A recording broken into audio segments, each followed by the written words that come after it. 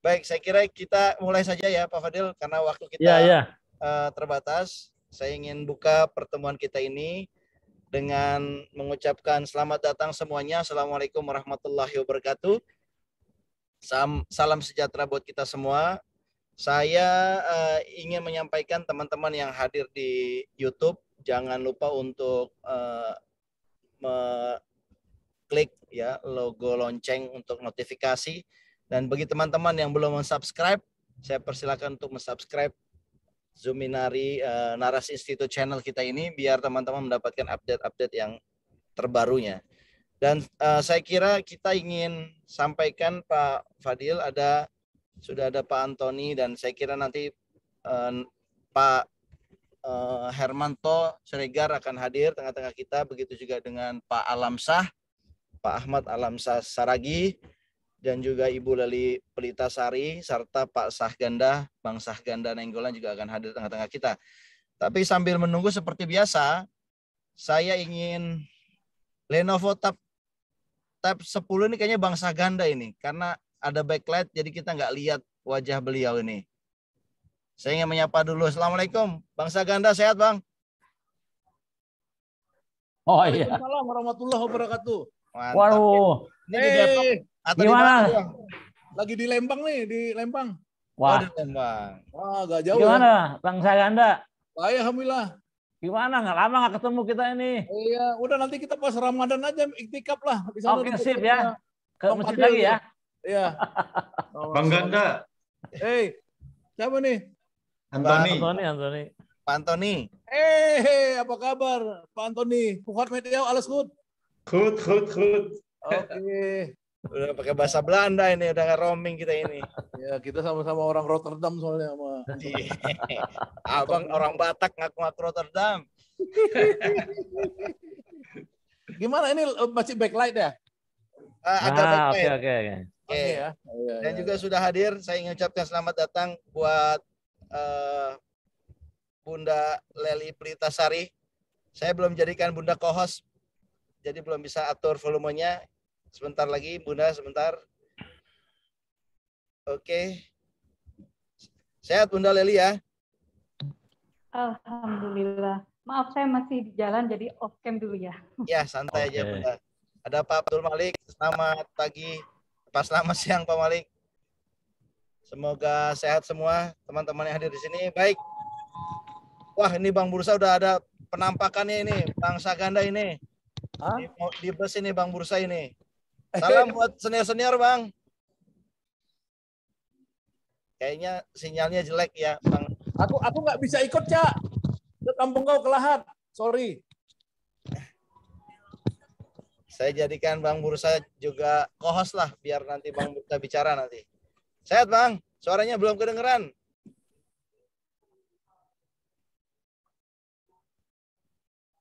Suaranya mohon izin belum kedengeran Bang Bursa sambil Lagi di bus, Nah, ini dia suaranya nih. lagi di bus. Hati-hati di jalan Bang. Sudah sampai mana Bang? Udah nye, udah nyebrang? Ah, dua jam lagi di Palembang, Wah, masuk Palembang. luar biasa. Tuh Pak Sadar juga udah ada tuh Pak Sadar. Pak Sadar Subagio juga sudah ada. Karena orang bus percaya Oktober ini Jokowi jatuh, jadi kita jalan-jalan nanti ya. Abang, nanti kita diskusi lah sama abang ya lebih lebih detail lagi. Oh. Baik, saya kira saya ingin eh, menampilkan terlebih dahulu flyer kita karena kita bicara tema pada hari ini adalah harga melonjak. Solusi ke manakah seharusnya pemerintah berpihak? Sebenarnya ini satu jawaban yang gampang sekali, tetapi kita ingin menggali lebih dalam ya. Kebetulan ada dokter, eh, profesor, dokter Ada Pak Antoni ya.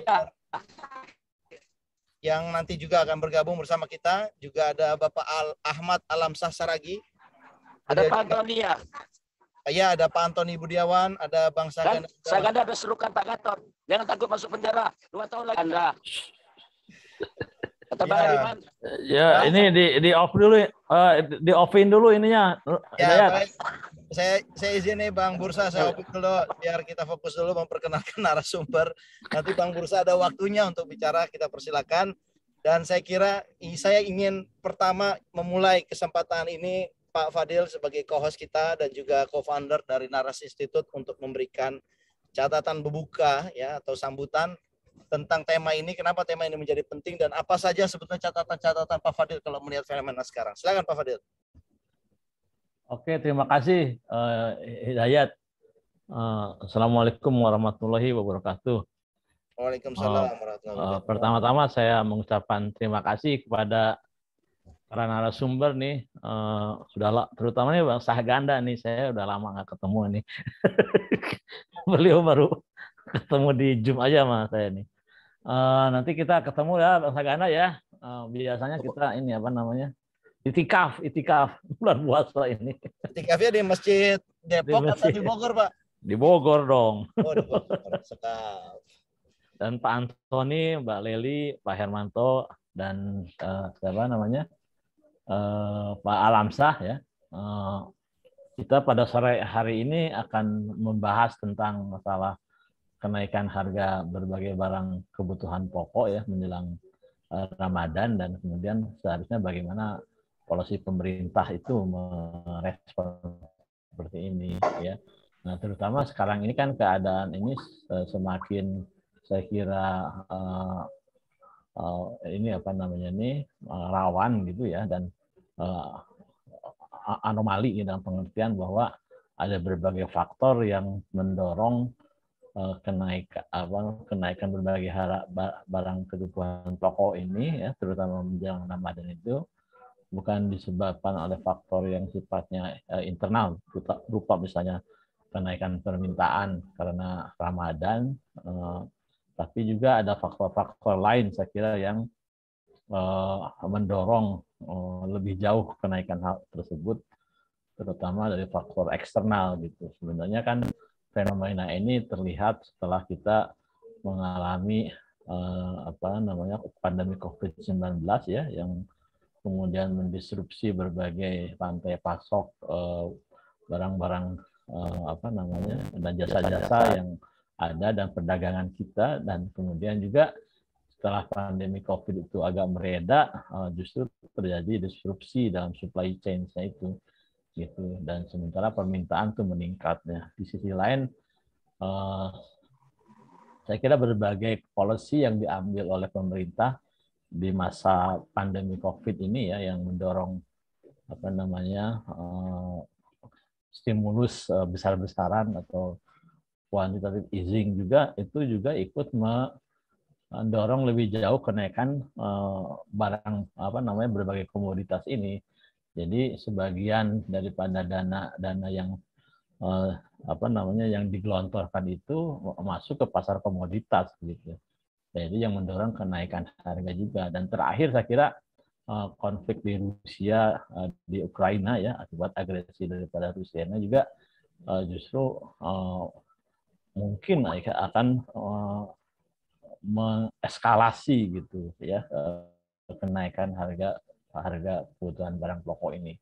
Nah di internal tentunya saya kira eh, itu eh, pengaruh daripada eh, apa namanya kenaikan permintaan akibat eh, menjelang Ramadan dan seterusnya juga eh, itu sesuatu yang eh, sebenarnya merupakan gejala normal di tahun-tahun eh, sebelumnya, tapi sekarang ini eh, mungkin agak lebih extraordinary keadaannya itu.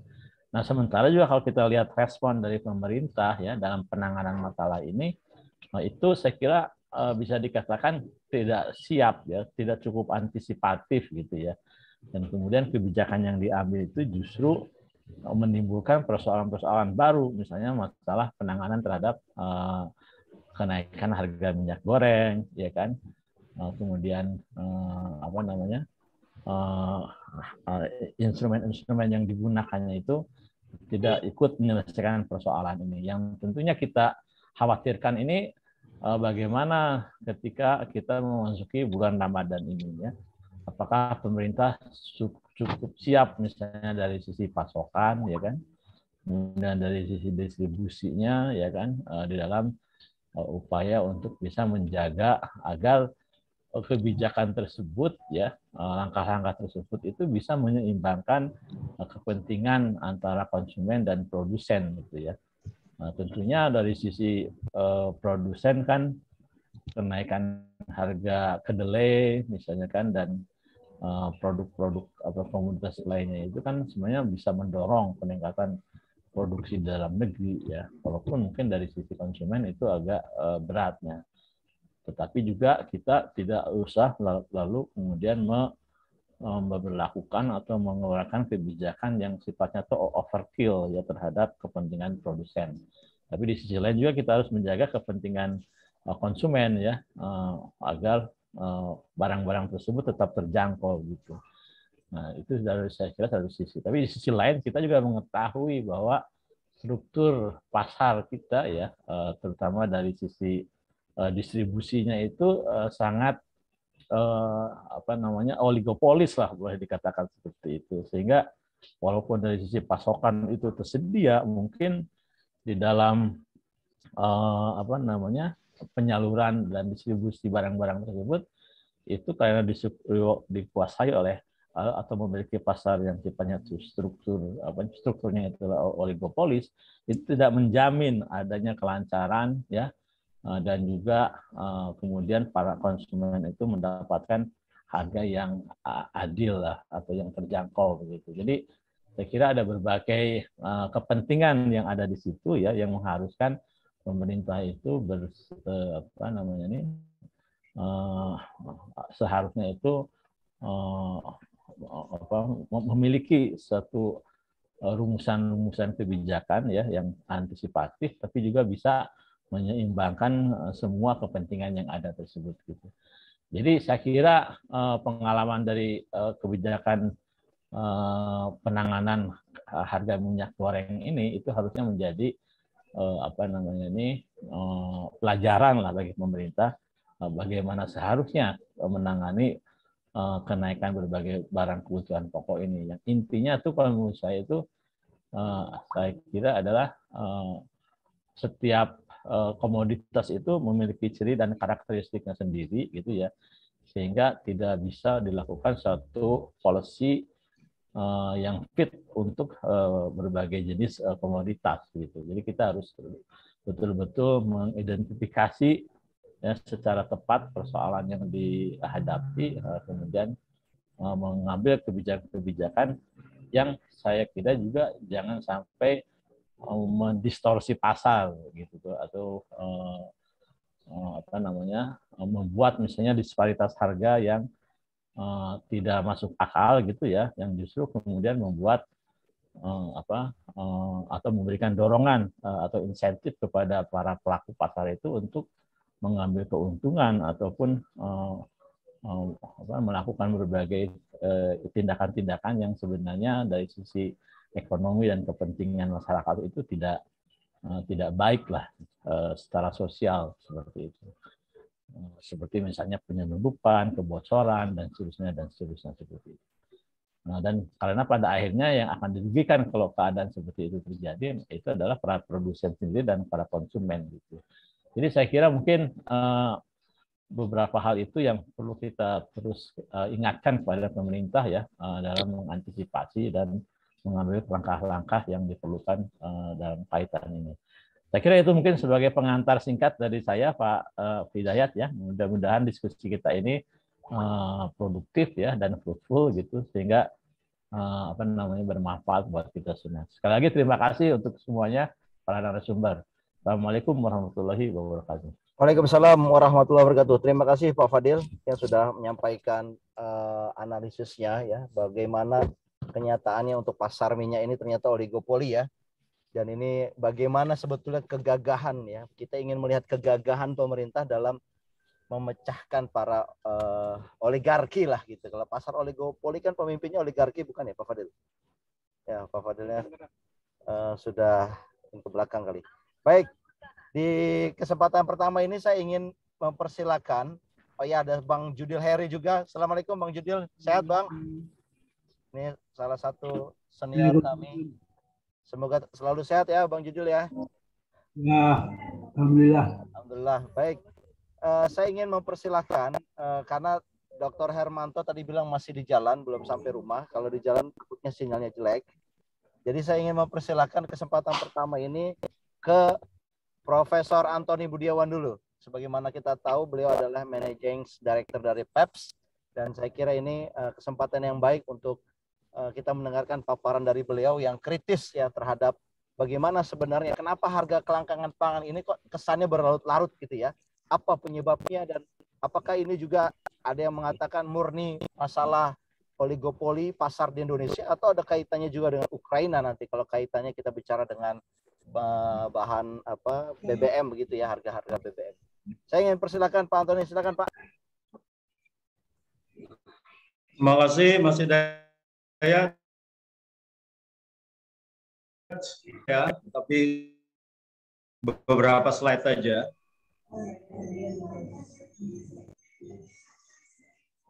Sudah bisa terlihat?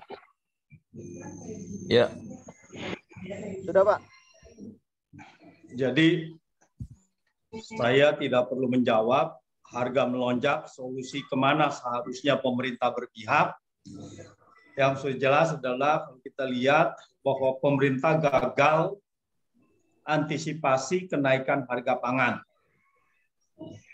Harga pangan termasuk juga tentu saja kenaikan harga komoditas. Dan sekarang diserahkan ke mekanisme pasar, di mana ini semuanya akan cekik eh, rakyat.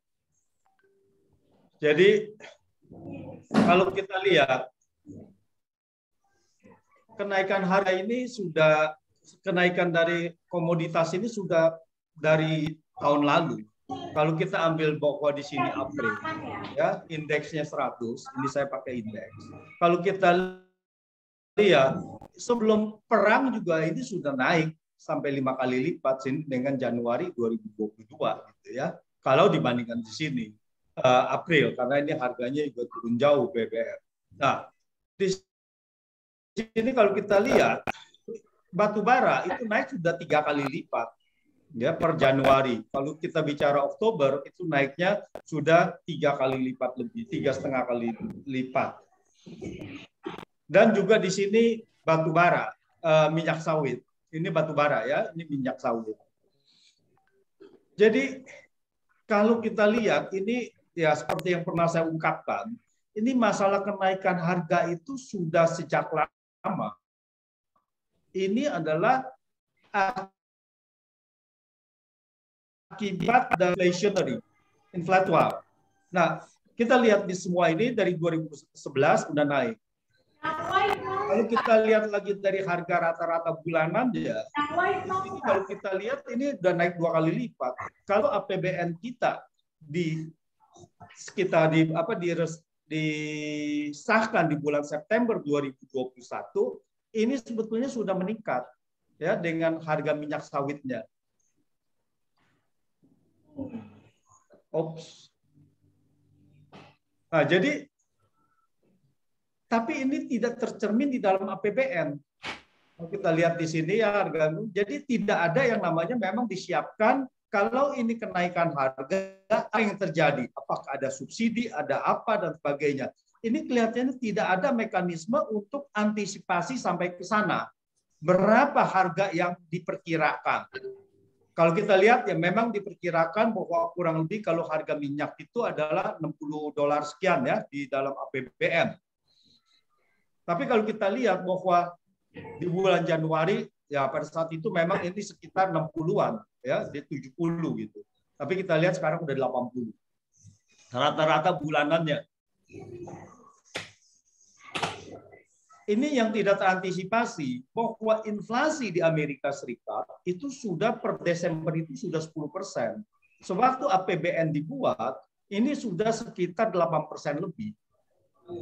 Jadi ini yang tidak terantisipasi sehingga semuanya begitu harga melonjak, begitu harga berdampak di, di apa uh, di Indonesia semuanya gagap. Jadi kalau kita lihat adalah bahwa tidak ada antisipasi di dalam APBN, lalu APBN malah dengan bangga mengatakan bahwa ekonomi sudah bangkit tercermin di dalam surplus transaksi berjalan. Memang surplusnya sangat besar, ya 30 miliar lebih. Tapi itu milik siapa? Itu kebanyakan ada milik pengusaha. Itu hasil dari batu bara, ekspor batu bara, ekspor uh, uh, sawit dan sebagainya. Jadi ini dolar milik pengusaha, lalu pemerintah sangat membanggakan bahwa APBN juga bagus, jadi membanggakan ekonomi bagus, tetapi tidak diantisipasi di lain pihak kenaikan harga ini akan membebani masyarakat. Kalau kita lihat harga BBM dan gas itu jadi naik sedemikian rupa. Kenapa? Karena tidak diantisipasi. Jadi sekarang cara mengantisipasi ya udah dilepas aja ke mekanisme pasar, semuanya naik. Lalu harga listrik juga dinaikkan juga karena listrik BBM dan gas naik, harga listrik juga dinaikkan juga. Kemudian pupuk yang banyak sekali dengan gas naik. Pupuk non subsidi naik, pupuk yang subsidi menghilang. Nah ini lagi yang membuat rakyat menderita apa yang disubsidi itu tidak ada. Sekarang coba kita lihat solar di daerah-daerah. Ada juga katanya. Pertalite juga sudah tidak ada juga. Kalau dengan harga segitu kalau belum dinaikkan. Nah ini suatu eh, pemerintah selalu kalau tidak mau mengeluarkan subsidi, maka yang terjadi adalah barangnya langka. Barangnya dihilangkan. Begitu juga dengan minyak goreng. Begitu minyak goreng dikatakan bahwa ini harus 1.400, subsidinya dari mana? Diambil dari BPDPKS. Jadi dana perkebunan kelapa sawit yang seharusnya untuk peremajaan. Tetapi itu pun sudah dibuat subsidi untuk biofuel yang sudah mencapai 100 triliun lebih. Nah, ini uangnya tinggal sedikit. Jadi begitu mau dibuat subsidi minyak goreng, tidak akan cukup. Nah, mereka kan tahu si pengusaha itu berapa uang yang ada di BPDPKS. Nah, mereka khawatir itu tidak bisa dibayar, ya mekanismenya juga tidak jelas, maka barang itu diselundupkan ke luar negeri. Sekarang kita lihat bahwa uh, saya dengar dari Maki Boyamin Saiman itu sedang menggugat penyelundupan ke luar negeri. Tapi yang menyedihkan adalah Mendak sudah tidak bisa mengantisipasi, tidak mengerti permasalahan, lalu tuduhannya macam-macam. Tuduhannya pertama kali bahwa warga menimbun minyak goreng, kenaikan kedelai karena masalah babi di China yang mengkonsumsi kedelai, dan lain-lainnya. Jadi tidak mengerti antisipasi, lalu kemudian setelah itu dia mengatakan, oh ya, ternyata saya tidak bisa melawan oligarki, eh, mafia. Saya tidak bisa melawan mafia. Ini kan sesuatu yang sudah bilang sudah pasti uang prestasi. Mendak sampai mengatakan begitu, ini adalah sudah tidak layak untuk dipertahankan lagi. Lalu apa yang terjadi? DMO dilepas. Ini DMO dilepas, ini pasti menyalahi juga yang konstitusi pasal 33. Itu adalah untuk memang diperlukan di dalam negeri. Bagaimana DMO bisa dilepas? Lalu karena DMO dilepas, makanya itu karena untuk harga pasar, karena di situ diatur DMO. Jadi sudah jelas Indonesia ini sekarang dikuasai oleh para oligarki. Ini sudah terbukti semuanya. Batu bara juga DMO untuk eh, PLN mau dilepas. Apa sudah dilepas? Yang 70 dolar karena pada saat itu Januari sudah tidak ada lagi uh, uh, supply ke PLN. Nah, jadi kalau kita lihat, ini semuanya negara kita sudah dikuasai oleh oligarki. Dan pemerintah sudah tidak berdaya. APBN pro oligarki tidak ada dana-dana yang di yang diperuntukkan untuk rakyat. Jadi subsidi itu tidak ada. Yang menyedihkan lagi bahwa dana seharusnya untuk uh, untuk yang bisa kenaikan antisipasi kenaikan harga ini malah ngotot untuk membangun infrastruktur. Jadi IKN ini langsung dipus terus gitu. Ini sudah benar-benar negara ini sudah tidak ada aturannya lagi. Jadi kalau saya rasa tidak ada government, negara ini akan lebih aman daripada kalau kita ada government seperti sekarang ini. Jadi saya rasa sementara begitu, uh, Mas Hidayat, nanti kita lanjut dengan diskusi. Terima kasih Pak Antoni. Saya kira penjelasan Pak Antoni sangat gamblang sekali ya apa yang terjadi dan kalau seandainya yang disampaikan Pak Antoni itu adalah uh, bagaimana APBN juga kemudian bukan menserving people ya, tapi menserving oligarki. Ini kan satu hal yang sangat berbahaya sekali Pak untuk kesejahteraan publik kita. Jadi bagaimana bagi, pertama indikasi apa yang Bapak lihat bahwa APBN kita ini sudah tersandra oleh oligarki dan bagaimana solusinya menurut Bapak? APBN kita meningkat. Dengan harganya meningkat, ini uh, dengan harga komoditas meningkat, dia meningkat tajam. Kenaikan banyak yang menyalah apa uh, uh, mungkin salah menduga bahwa kenaikan harga minyak ini akan membebani APBN. Tidak, bahwa kenaikan harga minyak akan membuat APBN semakin membaik, penerimaannya semakin tinggi kalau tidak dibarengi dengan subsidi dan ternyata bahwa subsidi ini akan jauh lebih kecil dari penerimaan uh, di APBN. Nah, di situ terlihat bahwa di sini adalah APBN ini sudah uh, apa tidak pro rakyat lagi. Politik uh, eh, ekonominya tidak pro kepada rakyat. Jadi itu sudah jelas gitu dan untuk infrastruktur dan sebagainya. Dan kedua adalah bahwa seharusnya peran Bulog bisa dimainkan untuk operasi pasar. Tapi karena di mana di situ bahwa Bulog sudah kita lihat makanya tidak ada peran-peran Bulog yang untuk itu karena Bulog ini juga sekarang lagi bleeding juga. Kalau Bulog ya mungkin adalah secara teknis Bulog itu bisa dikatakan mungkin bisa bangkrut gitu. Tapi makanya Bulog ini tidak pernah ada lagi. Jadi tidak ada mekanisme untuk uh, pro rakyat ini tidak ada untuk stabilisasi dari harga pangan. Bulognya sudah sudah sudah ter uh, uh, tidak bisa ya dipangkas lah dia punya kebi, apa uh, kekuatannya gitu. Jadi yang ada badan pangan nasional itu belum jadi. Jadi di sini akan terjadi tambal sulam kebijakan suatu badan di mana seharusnya Bulog bisa diberdayakan, sekarang malah ke Badan Pangan Nasional. Saya tidak mengerti kenapa tidak Bulog aja diberdayakan, diberikan uang lagi daripada Badan Pangan Nasional itu. Nah, jadi kalau kita lihat dari sini adalah ya APBN kita memang tidak untuk pro rakyat. Semua yang Bulog dan sebagainya itu tidak diberikan lagi untuk stabilisasi harga dan uh, rakyat dikenakan uh, kenaikan-kenaikan harga dan APBN belanjanya itu lebih banyak ke infrastruktur yang notabene adalah menguntungkan si eh, pengusaha-pengusaha besar. Pak Pak Antoni, Prof Antoni kalau kita bicara statement Menteri Perdagangan misalkan Pak Lutfi ya terkait minyak goreng Pak Lutfi katakan saya tidak saya tersandra oleh para oligarki ya. Saya mohon maaf karena saya dikalahkan oleh para uh, apa bahasanya itu para mafia minyak goreng.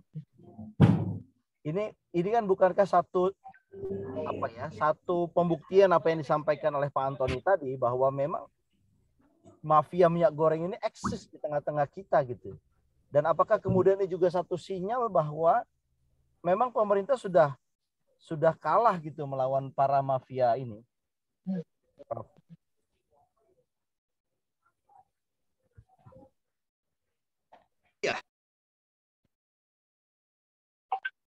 Sinyalnya Prof ya.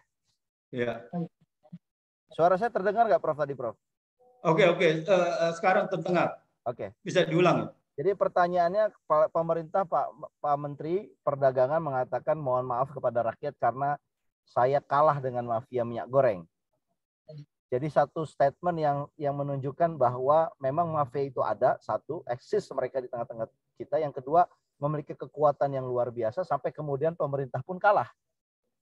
Nah, ini ini membuktikan apa yang Pak Antoni sampaikan tadi bahwa oligarki ini eksis dan mereka kelihatannya levelnya itu sudah bisa mengalahkan pemerintah begitu. Gimana pandangan Pak Antoni? Ya, itu jelas bahwa seorang menteri bisa mengatakan begitu, ini sangat memalukan. Seharusnya dia itu kalau tidak bisa ya harusnya mundur, bukan mengatakan seperti begitu. Jadi ini kasihan bahwa dia mengakui bahwa negara kita di dalam uh, cengkeraman uh, oligarki.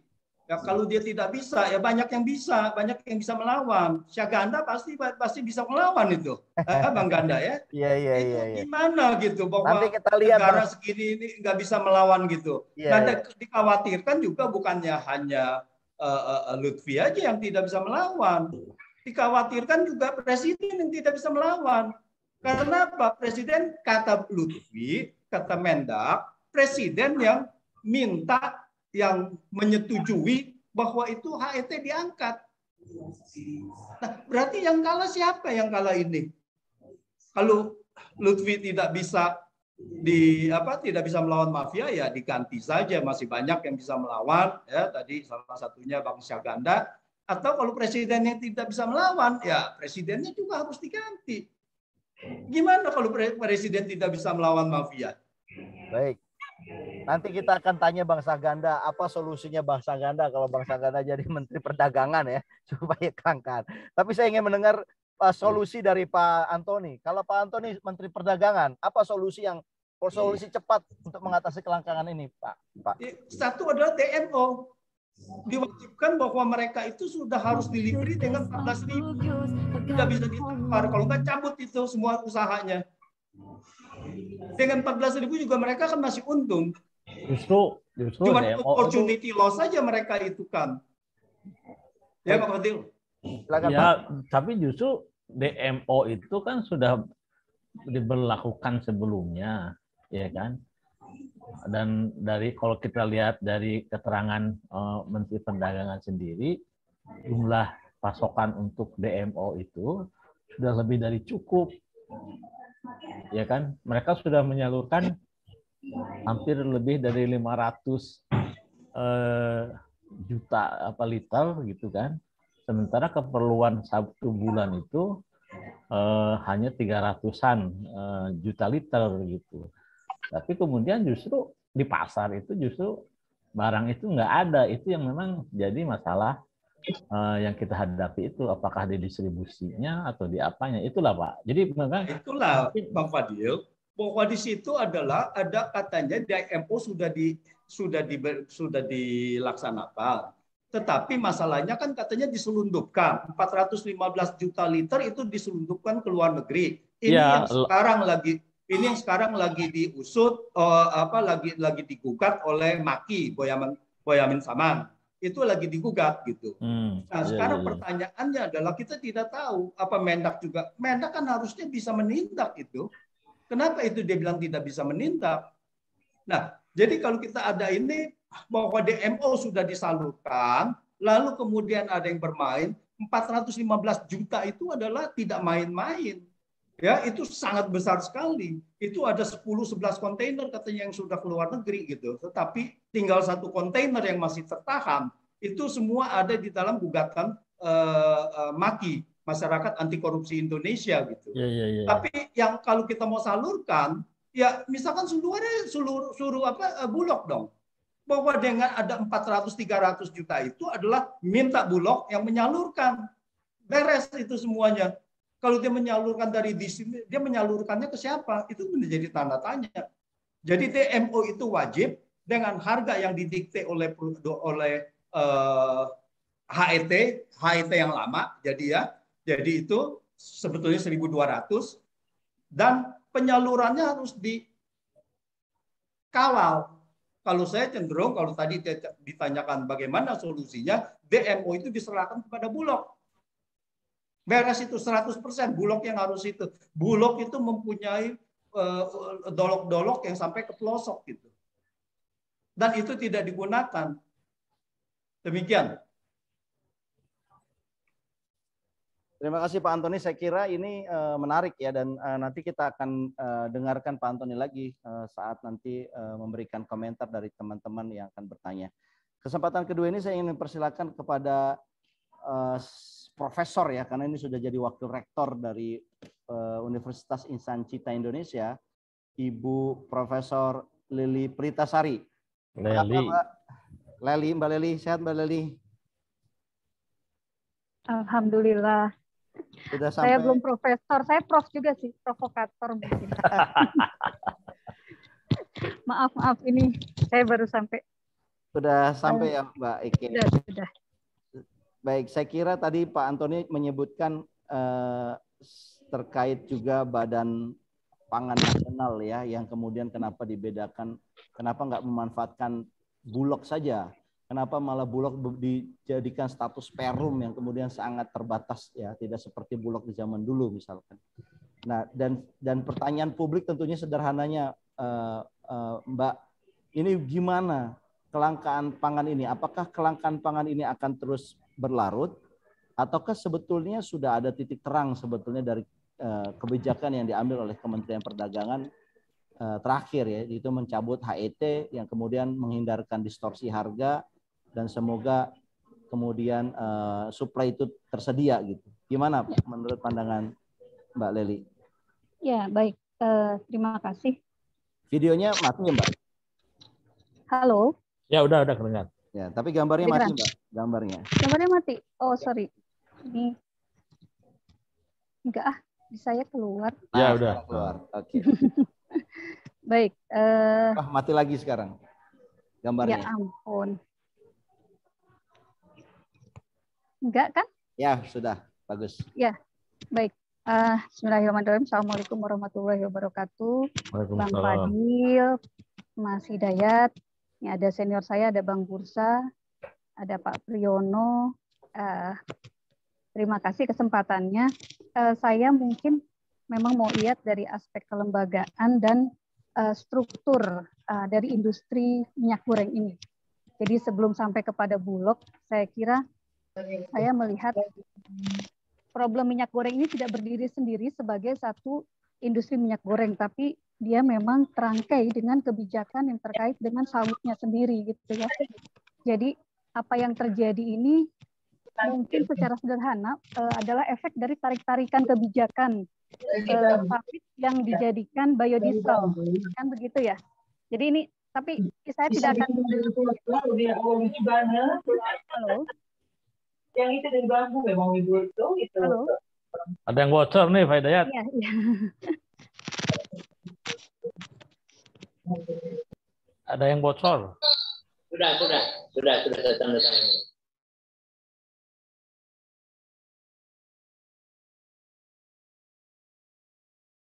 Eh,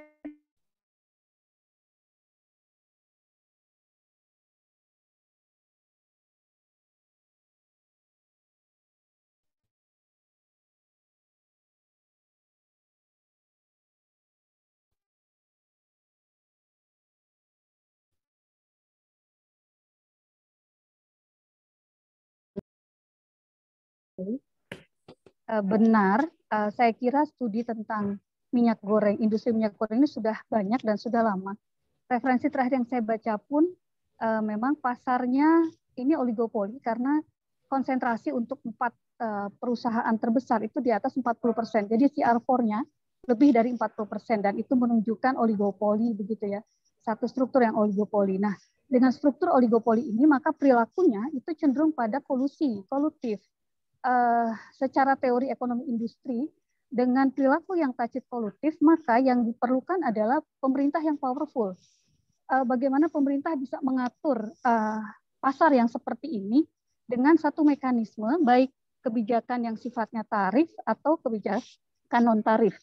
Nah, salah satu yang mungkin dilupakan di dalam uh, minyak goreng ini adalah pemerintah bisa mengatur, tapi tidak memiliki barang. Beda dengan beras gitu ya, ada cadangan. Uh, ini pelajaran pertama saya kira. Uh, dulu ketika Bulog masih menjadi badan urusan logistik LPND, uh, eh, Bulog powerful, Bulog mewakili negara powerful terhadap lima komoditas pokok, termasuk minyak goreng. Jadi nggak uh, ada tuh gitu ya walaupun uh, apa namanya perusahaan bisa menjual dengan leluasa tapi ada negara yang melalui bulog mengatur uh, secara langsung dan walaupun juga tidak dimiliki secara fisik tetapi perizinan itu jelas uh, melalui bulog kalau dulu. Nah, karena itu saya kira pelajaran yang pertama adalah pemerintah tidak cukup hanya bisa mengatur dengan regulasi di atas kertas, tetapi harus juga menguasai secara uh, stok. Inilah kemudian pentingnya di dalam undang-undang pangan adanya cadangan pangan pemerintah. Dan menurut saya pelajaran kedua inilah salah satu efek minyak goreng tidak masuk dalam komoditas yang diatur di dalam Perpres tentang Badan Pangan Nasional. Mari kita lihat hmm. dalam Perpres 66 tahun 2021 yang lalu hanya 9 atau ada 9 eh, bahan pangan pokok di luar minyak goreng. Catatan saya bulan Juli tahun yang lalu mengatakan eh, pertanyaan besar ketika minyak goreng tidak diatur waktu itu saya tanya alasannya karena e, minyak goreng itu bukan semata-mata komoditas pangan, tapi tadi dia juga merupakan komoditas industri lain yang terkait dengan kebijakan energi. Nah, kedua, nanti mungkin terakhir akan saya wanti-wanti inti-intinya kita coba jangan sampai kejadian kedua kali untuk gula rafinasi. Saya tanyakan mengapa hanya gula konsumsi yang diatur di dalam Perpres. Hati-hati, Gula rafinasi pun oligopoli. Hanya dikuasai dulu mungkin 5, sekarang mungkin 11 atau kira-kira 9 sampai 11 lah eh, pemain besarnya gitu ya. Jadi menurut saya ini pemerintah ya kalau kemudian sebentar lagi harus antisipasi, saya sih titip gula rafinasi. Karena gula rafinasi eh, kebijakannya ini kan masih abu-abu. Kalau bisa dikatakan bahwa sering kali terkait atau tergantung tarik ulurnya para pemain. Seringkali kemudian uh, gula konsumsi, sering kali kemudian diberikan kesempatan untuk langsung import bagi industri makanan minuman dan seterusnya. Oke, ini pelajaran kedua saya kira. Nah, karena itu menurut saya yang diperlukan oleh pemerintah saat ini bagaimana mengatur para pemain ini dengan satu mekanisme yang membuat tidak adanya spekulasi. Pelajaran dari beras itu sangat besar artinya ketika Bulog walaupun hanya menguasai 8% dari produksi, tapi stok itu mampu membuat pasar tidak berani berspekulasi lebih jauh dari sekedar naikin harga berapa. Ditahan sebentar, naik sedikit bulog guyur, walaupun mungkin stoknya seadanya. Tetapi dengan begitu, pemerintah bisa menguasai pasar. Menurut saya ini yang yang tidak terjadi di minyak goreng. Uh, analisis komoditas lain. yang lain ya. Iya. Atau komoditas yang lain gitu kan. Kedelai ataupun uh, gula kan gitu kan. Ya, gula. Nah, gula ini kebetulannya menurut saya ada di Badan Pangan dan ada kita punya RNI kan gitu ya. Ada BUMN-BUMN yang full dedicated untuk komoditas tersebut. Gula misalnya kan RNI kan di situ. Ada PTPN gitu ya. Tapi kalau minyak goreng ini kan betul-betul swasta. Ada juga, Mbak, PTPN. Itu ada PTPN sawit kan, tapi Nggak ada yang sekarang udah menghasilkan minyak goreng juga PTPN itu. Iya, tapi pangsanya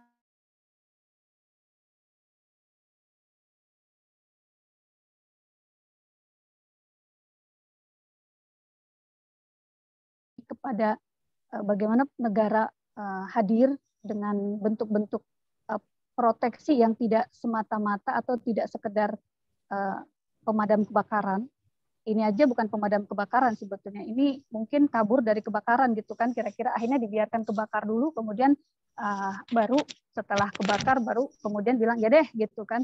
Iya, nah, iya. Jadi saya, sengaja dibakar gitu ya. Hmm, nggak bisa nggak gitulah ya. Iya, Cuman iya, iya. ini uh, betapa tidak berdayanya begitu ketika hmm. memang hanya, kita hanya punya basisnya aturan di atas kertas. Jangan salah, pemain itu eh, pelaku-pelaku pasar kalau tadi kita bilang oligopoli ya pasti mereka akan berperilaku ya tadi tacit kolutif masih bagus mereka tidak uh, apa namanya tidak melakukan satu kartel uh, ini analisisnya lain lah ya saya kira teman-teman di KPPU lebih lebih paham soal ini tapi bagi saya ya. perilaku ini juga akan kemudian menunjukkan kinerja dan ternyata kinerja atau performance keuntungan dari perusahaan-perusahaan sawit ini menurut penelitian 2008 ya terakhir itu di atas angka linernya. Liner itu kan angka angka apa istilahnya keuntungan wajar gitu ya Mhm. antara 0,5 sampai 0,35 kalau tidak salah itu di atas itu. Nah artinya memang keuntungan dari industri minyak goreng ini betapa luar biasa. Belum lagi insentif yang jauh lebih besar ketika masuk ke dalam eh, kebijakan biodiesel B20 kemudian mau dinaikkan B30 KW aja. jadi saya kira itu mungkin masih dayat saya mungkin tidak cukup banyak, tapi secara kelembagaan eh, hari ini Kementerian Perdagangan harus berjuang sendiri. Karena Badan Pangan tidak diberi mandat untuk eh, bertanggung jawab terhadap komoditas minyak goreng. Kalau ada kan bisa ditarik-tarik tuh, bisa diajak-ajakin tuh Mas Arief Prasetyo kepala Badan Pangan yang baru gitu ya eh, untuk untuk ikut nangani ini. Ini kan nggak ada, jadi nggak ada mandatnya dalam Perpres itu untuk nangani minyak goreng gitu eh, saya kira secara kelembagaan ya ini salah satu eh, dampak begitu ya yang langsung terasa ketika eh, pemerintah melindungi hanya untuk komoditas-komoditas tertentu yang eh, ternyata eh, apa hari ini kita lihat faktanya memiliki dampak luar biasa untuk masyarakat terutama ya konsumen menengah ke bawah lah. Mungkin itu masih dayat dari saya eh, dan mohon maaf saya kebetulan 16.30 saya masih bisa ikut, tapi setelah itu mohon izin saya eh, pamit duluan, ada rapat. Terima Ya. kasih, eh, saya kembalikan. Bunda Leli, eh, sebelum Bunda meninggalkan eh, Zoom kita ini karena ada rapat, eh, pertama mungkin Bunda juga bisa bantu kita ya eksplorasi ini kan Badan eh, Ketahanan Pangan Pangan Nasional. ini, Dan ini kan nasional. eh, ini kan sudah dibentuk dan saya kira satu bulan yang lalu kan sudah ada ketuanya juga, Kepala ya. kepalanya. Ini kan sebetulnya inginnya masyarakat kan ini menjadi satu solusi ya. Tapi kita kaget ke ternyata minyak goreng tidak diatur. Bahkan gula re- eh, Rafinasi. rafinasi itu juga tidak masuk di situ, hanya gula konsumsi saja. Apalagi kalau lihat nanti apakah kemudian badan ketahan badan penanganan pangan nasional ini kemudian adalah satu jalur untuk mempermudah impor misalkan ketika misalkan ada kelangkaan pangan. Jadi kita ingin bicara sebetulnya kan eh, ketahanan mandiri pangan nasional kita. Nah, kalau begini ceritanya kan kan kesannya kita ini tidak memikirkan ketahanan pangan mandiri secara serius gitu loh, eh, eh, Bunda. Gimana pandangan Bunda terkait itu? Kalau melihat perpresnya Mas Hidayat, Mhm. justru memang Badan Pangan ini punya otoritas besar. Jadi mulai dari ngurus ketersediaan, stabilisasi, harga gitu ya, Mhm. eh, bahkan sampai ke keamanan eh, untuk sembilan eh, Bahan pangan pokok. Justru besar sekali sebetulnya secara regulasi, lagi-lagi secara perpres itu. Nah, yang menjadi pertanyaan publik atau sebagian eh, kawan-kawan yang mengamati kelembagaan adalah eh, apakah kemudian dalam prakteknya bisa sepowerful itu gitu ya?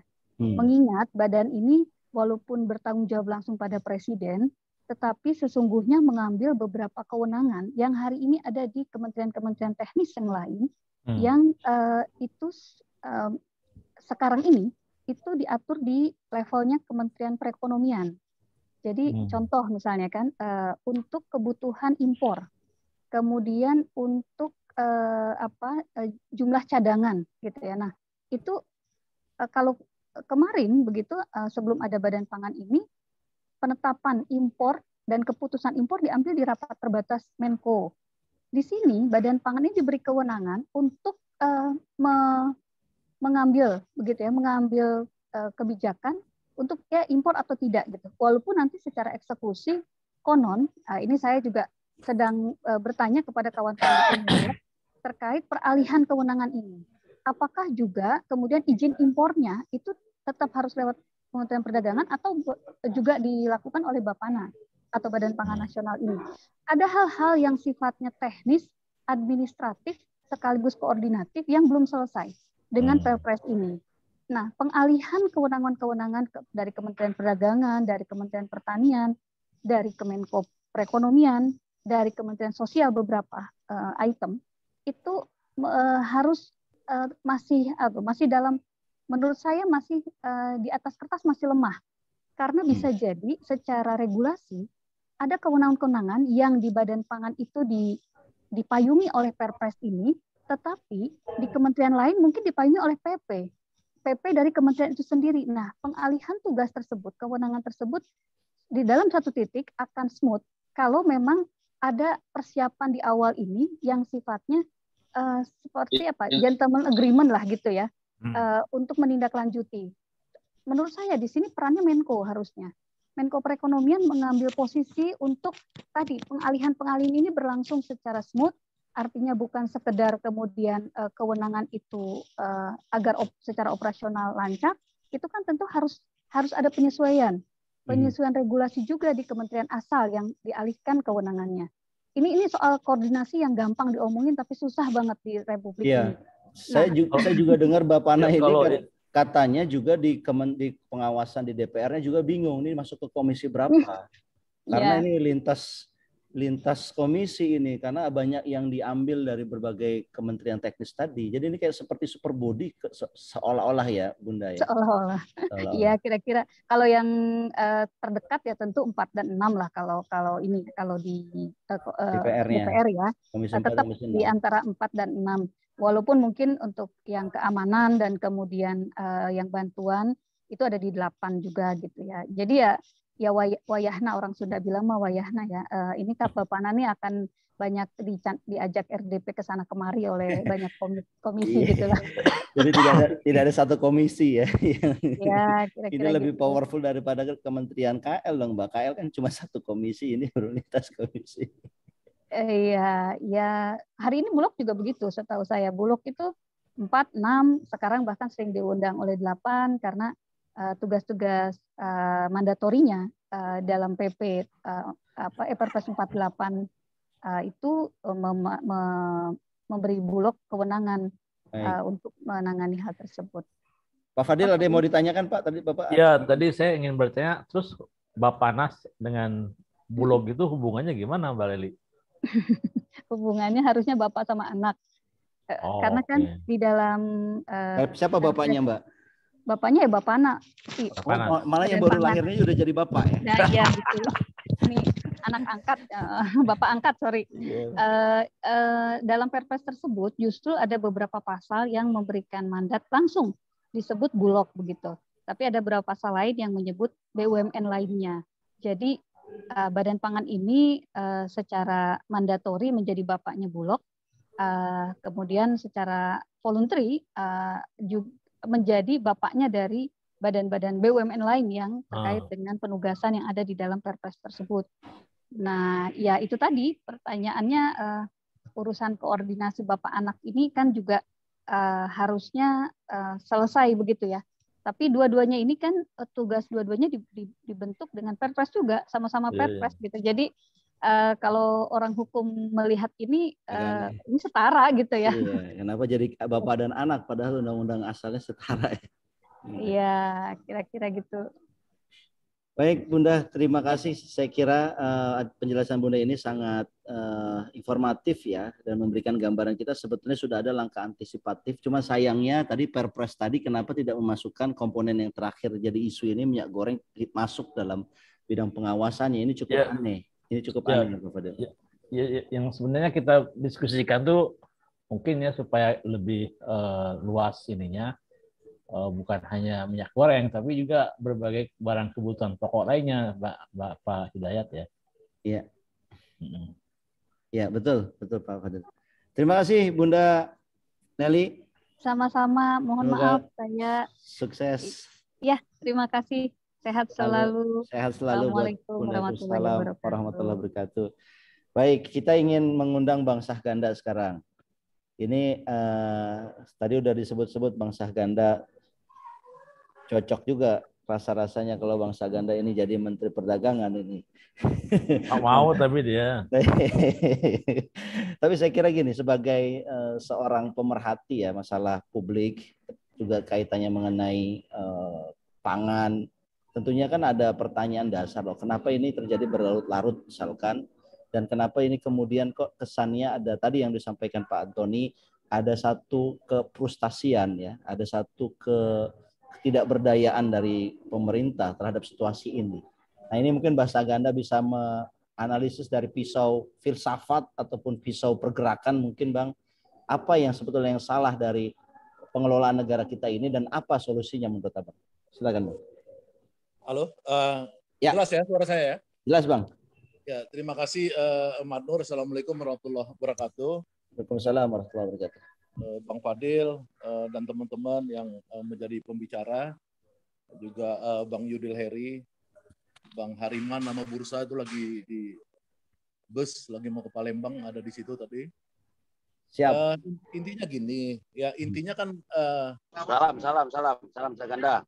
Inti uh, intinya kan gini sebenarnya kan kita udah terbuka di publik bahwa Menteri Perdagangan itu tadi misalkan di TV kita lihat dia menunjukkan bahwa negara ini dalam kasus minyak goreng dikontrol oleh mafia-mafia katanya. Mhm. Dan sebenarnya Menteri Perdagangan ini kan sudah dari Januari ya eh, ngurusin minyak goreng nggak selesai-selesai sampai Maret. Hmm. Tadi saya share ke eh, moderator eh, Bung Nur ulasan di Kompas hari ini bagus ya. Bagaimana harga minyak goreng di Malaysia saat ini ya CPO-nya itu nomor satu di dunia ini produksinya kita nomor dua Malaysia. Di Malaysia itu per kilo masih 8.500 per kilogram. Jadi per liter itu konversinya 7.600 curah ya. Nah, kalau yang eh, apa namanya? yang merek eh, di sana yang bagusnya itu merek itu per kilogramnya 19.000 kalau dikonversi eh, jadi per liter itu sekitar 17.000. Hmm. Nah, jadi yang curah di eh, eh, Malaysia itu curah yang orang-orang biasa di sini dapat eh, dengan eh, maksudnya kualitasnya tinggi ya. Hmm. Nah, kenapa di Malaysia itu terkontrol? Kenapa hari ini misalkan kalau kita datang hari ini per hari ini saya datang tadi ke Alfa, saya tanya berapa minyak goreng 49.000 per eh, 2 Dua liter. liter. Ya. ya 25.000 per liter Ya. di Alfa saya. Nah, kenapa di Malaysia itu harganya itu harga yang eh, eh, eh, jauh lebih murah dibanding Indonesia padahal Malaysia itu pendapatan per kapitanya itu tiga kali lebih besar dari Indonesia. Kan itu Hmm. pertanyaan besar. Yang kedua, dalam indeks harga konsumen, ya ini kan eh, karena kebutuhan ini kan kebutuhan pangan signifikan, ya banyak dipakai oleh ibu rumah tangga, ya rumah tangga dan lain-lain maksud saya.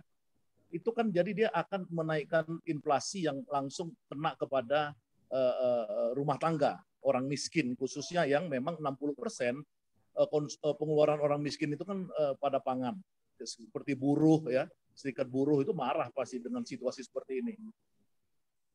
Pertanyaan dari moderator tadi, kenapa? Nah, kan kita lihat sepanjang sejarah Indonesia ada, sepanjang sejarah Indonesia ada, ya minyak goreng itu langka baru sekarang tiga bulannya. Hmm. Sebelum ini pernah ada ya ketika krisis 98. Krisis Hmm. 98 itu ada, baru sekali itu terjadi. Tapi ketika pemerintahan Habibie masuk ya kemudian eh, Adi Sasono sebagai Menteri Koperasi di mana saya waktu itu staf khusus itu seminggu selesai Eh, Hmm. kelangkaan dan harga-harga karena apa karena kemudian kita masih punya kekuatan menekan seluruh yang disebut mafia-mafia itu untuk melakukan pengadaan ya minyak goreng secara murah maka operasi-operasi pasar dan lain-lain dilakukan maka seminggu di zaman Habibie itu eh, langsung eh, normal harga minyak goreng. Nggak pernah jadi tiga bulan seperti sekarang. Nah kita kembali ke teori dulu. Teori ini sebenarnya kan kita nih bernegara ini kan sebenarnya yang paling menarik itu kan who control the state ya Hmm. kan? Who control the land. Siapa yang mengontrol negara ini? Kalau menurut Karl Marx ya, dalam teori Marxis itu maka siapa yang mengontrol dia yang menentukan kalau kapitalis yang mengontrol dia yang menentukan sesuka hatinya kalau rakyat menentukan eh, eh, mengontrol maka dia akan eh, menguntungkan rakyat Nah, makanya kita lihat ketika si eh, eh, Lutfi ini yang kata Sri Mulyani ini kan dulu Lutfi eh, Erick Thohir dan eh, Sandi ini kan eh, pria-pria berkelimis yang suka datang ke BPPN. Kan pernah disinggung oleh Sri Mulyani dulu. Pria-pria berbisnis ini seperti Lutfi yang dulu pernah saya temani ke Menteri Perdagangan zaman Habibie untuk impor beras ya dia itu adalah pedagang ya. Kalau pedagang dia nggak bisa mengkontrol pedagang lainnya. Hmm. Bagaimana pedagang dia mau kontrol dia marah-marah ya diketawa ya sama pedagang lainnya. Lalu kayak sesama eh, bus kota ngapain ngatur kita? Kan kira-kira gitu. Hmm. makanya itu di Malaysia itu selalu tidak bisa pedagang jadi menteri tidak bisa pedagang itu jadi presiden. Ya kalau kita negaranya benar itu ya bisa ngontrol kekuatan kapitalis kapitalis ini ya itu cuman kalau pemerintahnya pemerintah yang berbasis rakyat. Hmm. ya berbasis rakyat bukan pakai pemilu yang fake yang dibayar citra-citra pakai uang dari oligarki. Itu harus betul-betul kekuatan rakyat. Nah dengan rejim Jokowi ini sebenarnya kita tahu bahwa ini bukan soal Mendak Lutfi Jokowi juga sudah lama perintahkan Menteri Perdagangan untuk mengamankan dan mengadakan mengamankan harga minyak goreng dan mengadakan. Tapi kan nggak mungkin Jokowi bisa lakukan. Makanya Jokowi kan yang paling penting buat dia bagaimana happy happy dengan motor JP ya kan? Untuk biar aja lah rakyat yang pusing dengan minyak goreng tapi Jokowi senang-senang dengan eh, apa naik motor di Mandalika ya. Itu kan eh, memang ciri-ciri orang yang memang sebenarnya dia nggak peduli juga dengan rakyat ya kan? Nah maksud saya ini ini sudah terang benderang sekarang dengan kasus minyak goreng sebenarnya bukan hanya minyak goreng ya gas juga naik ya, udah 220 ribu per kilogram kemudian eh, gula kemudian eh, eh, kedelai macam-macam ini kebutuhan naik ya sebelum Ramadan juga udah naik apalagi nanti Ramadan. Nah persoalan itu who control the state.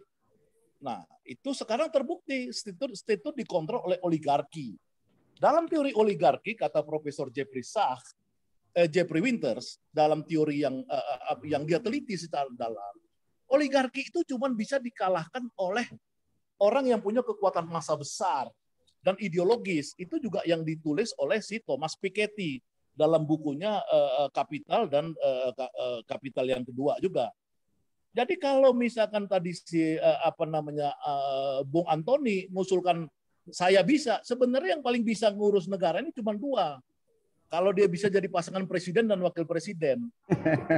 kalau, ya kalau harga minyak goreng dan semua ini semua mau merata, rakyat nih sejahtera semua, itu presiden dan wakilnya itu cuma dua menurut saya. Dari pengamatan saya sekian lama itu dulu nggak bisa saya saya uh, jadi menteri. Harus ada presiden. Nah presiden itu kalau mau masyarakat Indonesia nih betul-betul aman itu cuman pasangan Habib Rizik sama Rocky Gerung. RS dan Rocky Gerung ya karena karena itu ada teorinya itu teori si profesor profesor Jeffrey Winters. Hmm. ya oligarki itu hanya bisa dilawan oleh kekuatan model kalau dia itu merujuk pada Gandhi. Dalam hmm. wawancaranya ditanya eh Prof kenapa Gandhi? Gandhi because Gandhi uh, has a uh, uh, apa namanya people people power. Yang punya people power di Indonesia ini cuma Habib Rizik ya dan Rocky Gerung. Ya kan kalau itu kombinasi itu saya mau menteri perdagangan. Tapi saya sebenarnya lebih pengen jadi menteri ya namanya menteri reformasi agraria jadi menteri agraria ke depan itu jangan lagi menteri uh, uh, seperti sekarang BPN menteri reformasi agraria ya hmm. ini kenapa saya bilang saya ini lihat ya orang-orang yang menguasai kebun-kebun ini itu makin kaya tapi buruhnya makin miskin. Adik saya tuh manajer ya 20 tahun di Bakri, Bakri Plantation dari mulai uh, di Medan Kisaran kemudian pindah ke ke mana ke uh, uh, Jambi. Ini plantationnya sawit bang ya? Sawit sawit, nggak bisa beli rumah dia. Dia hmm. baru mulai bangun rumah kecil-kecilan di Medan setelah pensiun. Sebelum pensiun dia masuk lagi ke Bangka, di plantation yang besar dia manajer uh, manajer estate itu kalau dulu zaman-zaman kolonial Belanda dibilang ADM ADM itu ya administratur. Hmm. Saya tanya gaji kamu terakhir berapa? Gaji saya terakhir plus plus plus yang lain-lain itu 12 juta. Hmm. Ya kan? Buruh berapa? Buruh itu pemanen sawit dan lain-lain itu maksimum 3 sampai 5 juta di mana pun. Ya, itu juga kebanyakan pekerja lepas. Jadi ini nggak pernah rakyat ini. Padahal satu satu estate itu satu estate itu menghasilkan 12 miliar ya 12 miliar tapi adik saya sebagai manajernya cuma dapat 12 juta udah maksimum hmm. nah seperti itu misalkan ini nggak pernah jadi mereka ini selalu selalu mencari keuntungan yang besar sekali tapi yang redistribusi kepada buruh nggak terjadi juga buruh-buruh sawit yang diklaim Erlangga kemarin bahwa mereka senang Jokowi tiga periode Itu kan sebenarnya sebuah kesesatan. Yang mana yang yang bangga sekarang mereka ini? Nah kembali ke itu, saya pernah berdebat dengan Abu Rijal Bakri. Saya bilang Pak Abu Rijal waktu dia cerita mau bangun 5 juta hektar uh, sawit dengan Sinarmas, dengan pembiayaan dari RRC, saya bilang Bang Ical, bagaimana caranya? Kita gini kan, saya karena mewakili pribumi, saya dapat 40 persen. Sinarmas dapat 60 persen. Ya, nanti dia dapat minta uang ke Menteri Keuangan Cina. Nah itu tuh pembiayaannya. Ini zaman sih, zaman uh, uh, SBY ya, masih zaman SBY. Hmm. Tapi SBY kelihatannya kurang suka karena yang dia bawa Ical ini kok teman-temannya aja. Terus saya bilang sama Ical, Bang Ical, saya bilang, abang tahu nggak? Saya bilang, supir saya itu punya tanah 5 hektar di Bengkulu. Baru pulang haji, abangnya punya 5 hektar tanah di Bengkulu, baru pulang haji. Kalau tanah 5 juta hektar tadi abang bagi per 5 hektar, maka yang naik haji sejuta orang. Hmm. Jadi abang nggak usah kontrol landnya, don't control the land. Ya kan? Kamu bagikan kepada rakyat. Seperti di Malaysia itu ya Felda saya pernah diskusikan dengan uh, Fadil Hasan. Itu kasih rakyatnya. Nanti mereka cukup main di PKS main di hilir ya main di uh, uh, mebeler buat dari uh, apa namanya dari pohon-pohon uh, sawit dan lain-lain jadi tanah-tanah ini harus kembali ke undang-undang pokok agraria tidak boleh ada orang menguasai 5 juta hektar nggak boleh ada juta-juta hektar Nah kalau itu bisa nanti ada Jokowi ganti ya, ganti rejim baru yang bisa menciptakan badan reformasi agraria, itu ditata ulang HGU itu. HGU itu nggak boleh lagi dikuasai oleh konglo-konglo ini. Sekarang dari riset-riset terakhir itu kan sudah 60% dikuasai oleh swasta, bukan BUMN lagi. Bahkan di zaman SBY, ya Menteri BUMN yang hampir melakukan eh, apa namanya privatisasi PTP-PTP itu. Kalau PTP-PTP diprivatisasi, maka kontrol terhadap lahan PTP, bisnis uh, minyak goreng makin nggak ada. Nah, jadi itu tadi kita bicara negara, mungkin itu yang yang yang yang penting dicatat oleh kita ya bahwa who control the land. Tanah ini nggak boleh lagi dikontrol juta-juta hektar. Itu kalau kita mau aman bangsa ini. Bagaimana kita bisa uh, melakukan itu? Ya kalau yang nanti jadi presiden dan rejimnya itu berbasis rakyat, bukan berbasis pencitraan. Ya, kalau basisnya pencitraan pasti tidak mungkin bisa melakukan ini. Nah, kedua, yang penting sedikit ini karena kita mengaitkan dengan COVID-19 dan kemudian ada uh, perang di uh, Ukraina ya. Ini hmm. sebenarnya ada positif, ada negatifnya. Negatifnya ini memang kemudian terjadi nanti inflasi besar-besaran dan saya juga tadi agak ragu dengan uh, Mas uh, apa Dr. Budi, Budi uh, Antoni ya soal uh, APBN karena bayangan saya itu kan kita 750 ribu barel per hari impor net importir uh, BBM. Jadi saya nggak ngerti. Saya pikir antara komoditas batu bara dan dan uh, minyak goreng yang sifatnya short term ini belum tentu kemudian nanti di jumlah ini APBN kita sebenarnya untung seperti klaim Sri Mulyani. Saya lebih yakin sebenarnya ketika BBM ini seratusan dolar, 120 dolar, kita ini ekonomi kita makin hancur. Ditambah hmm. lagi Eh, kita seribu dolar yang cetak uang kemarin, quote and quote cetak uang itu sudah tidak ada. Sehingga apa? Sehingga sebenarnya dari sisi ekonomi kita akan makin hancur. Jadi sekarang ini bayangan saya ini baru kehancuran pertama. Kehancuran yang lebih dalam akan terjadi. Ya, orang-orang nanti apalagi kalau Taiwan sama Cina perang dan lain-lain. Tapi ada keuntungan sekarang. Keuntungannya apa? Ketika negara-negara besar ini sibuk berperang, kalau kita mau pikir kedaulatan kita sendiri, nasionalisme kita, persatuan bangsa Indonesia di atas eh, keributan-keributan yang diciptakan kadrun dan kodok-kodok ini, ya, ya kalau kita bangsanya bisa diciptakan solid kuat, kita bisa punya kesempatan berdaulat.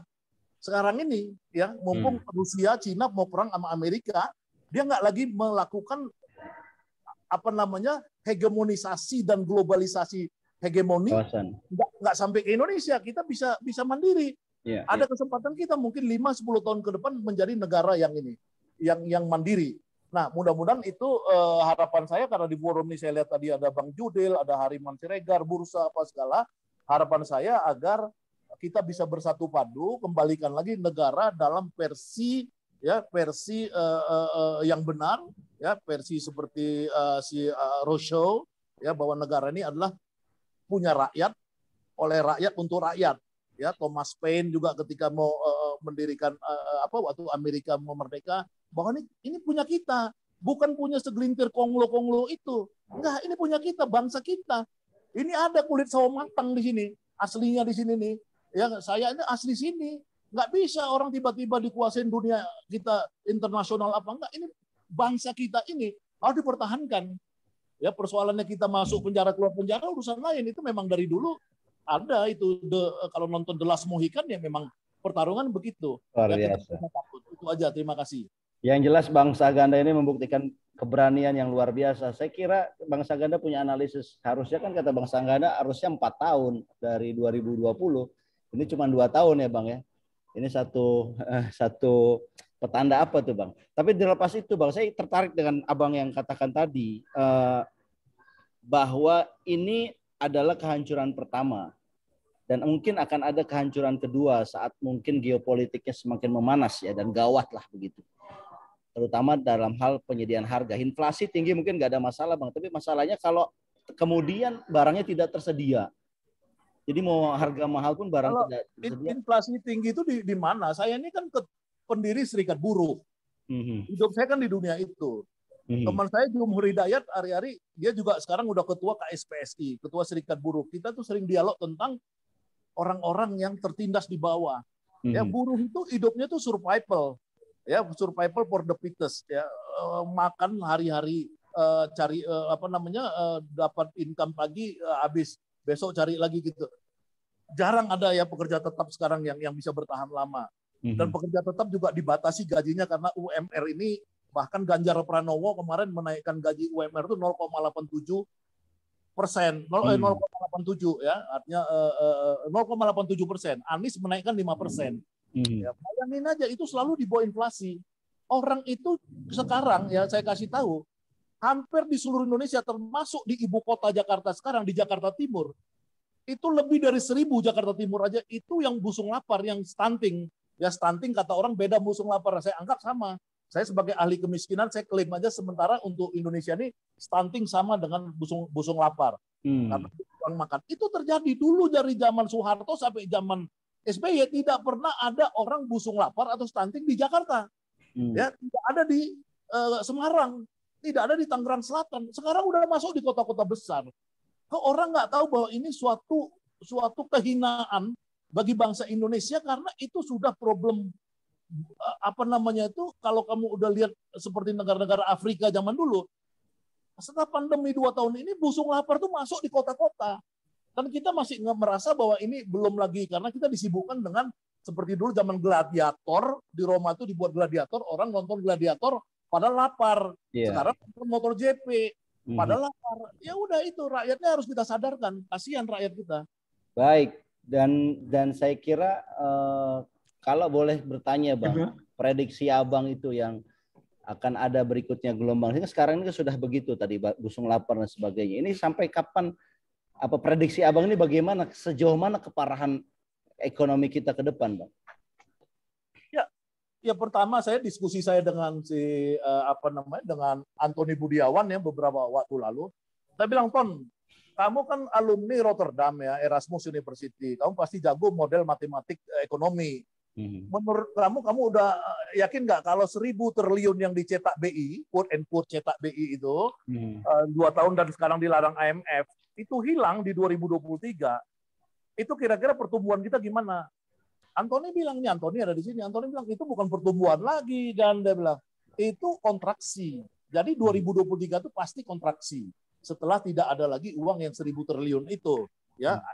Sekarang juga kata Antoni ya itu juga orang-orang sudah pada eh, apa namanya tidak mau lagi investasi tidak mau lagi bisnis nahan uang semua orang nahan uang yang punya uang ya.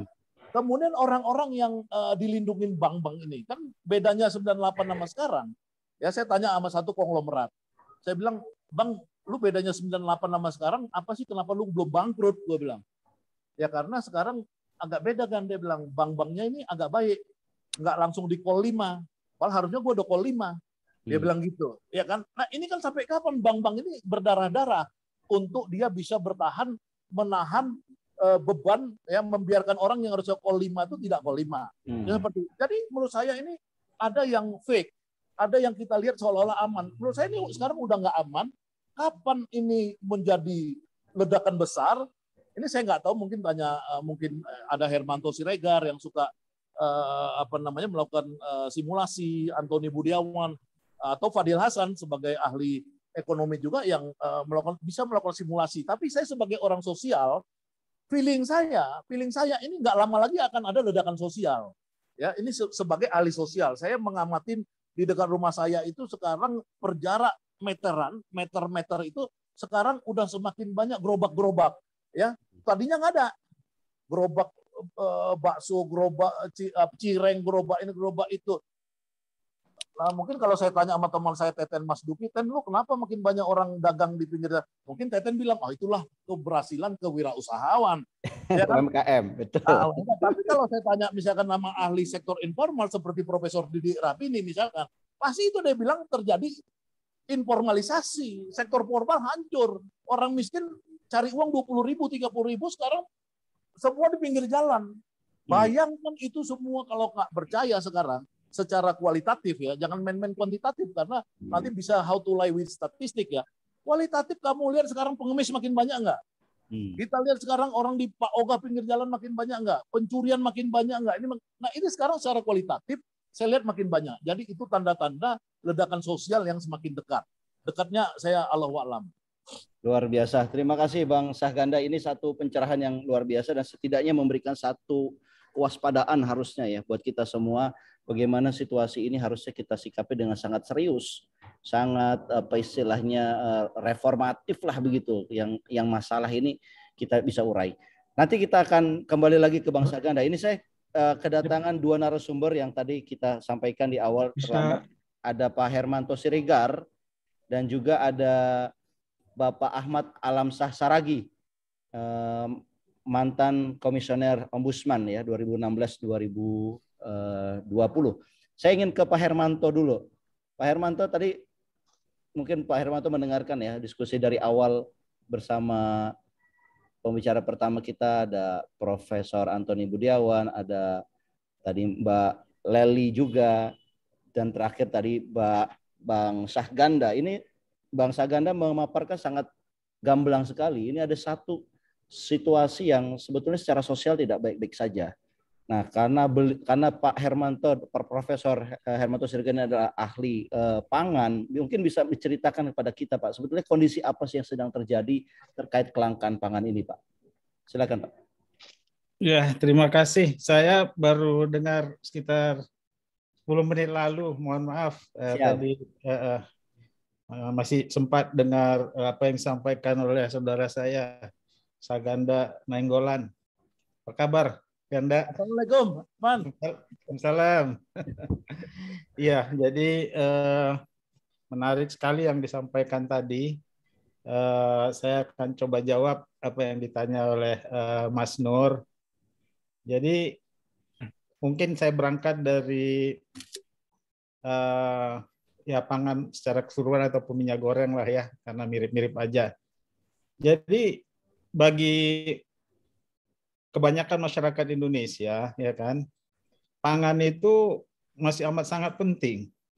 Masih amat sangat penting. Kalau kita lihat share atau pangsa pengeluaran rata-rata ya kita bicara rata-rata eh, masyarakat Indonesia katakanlah satu satu bulan eh, rata-ratanya X berapa untuk pangan? Itu masih sekitar 50 persen untuk pangan itu Hmm. Untuk kalau kalau masyarakat itu kita bagi lima kuintal, lima bagian, Mas uh, Nur, hmm. ya, yang terbawah 20 persen itu bahkan 56 persen dari total keluaran dia adalah untuk pangan. Hmm. Yang paling tinggi top 5 persen pun itu masih sekitar 34 persenan adalah untuk pangan.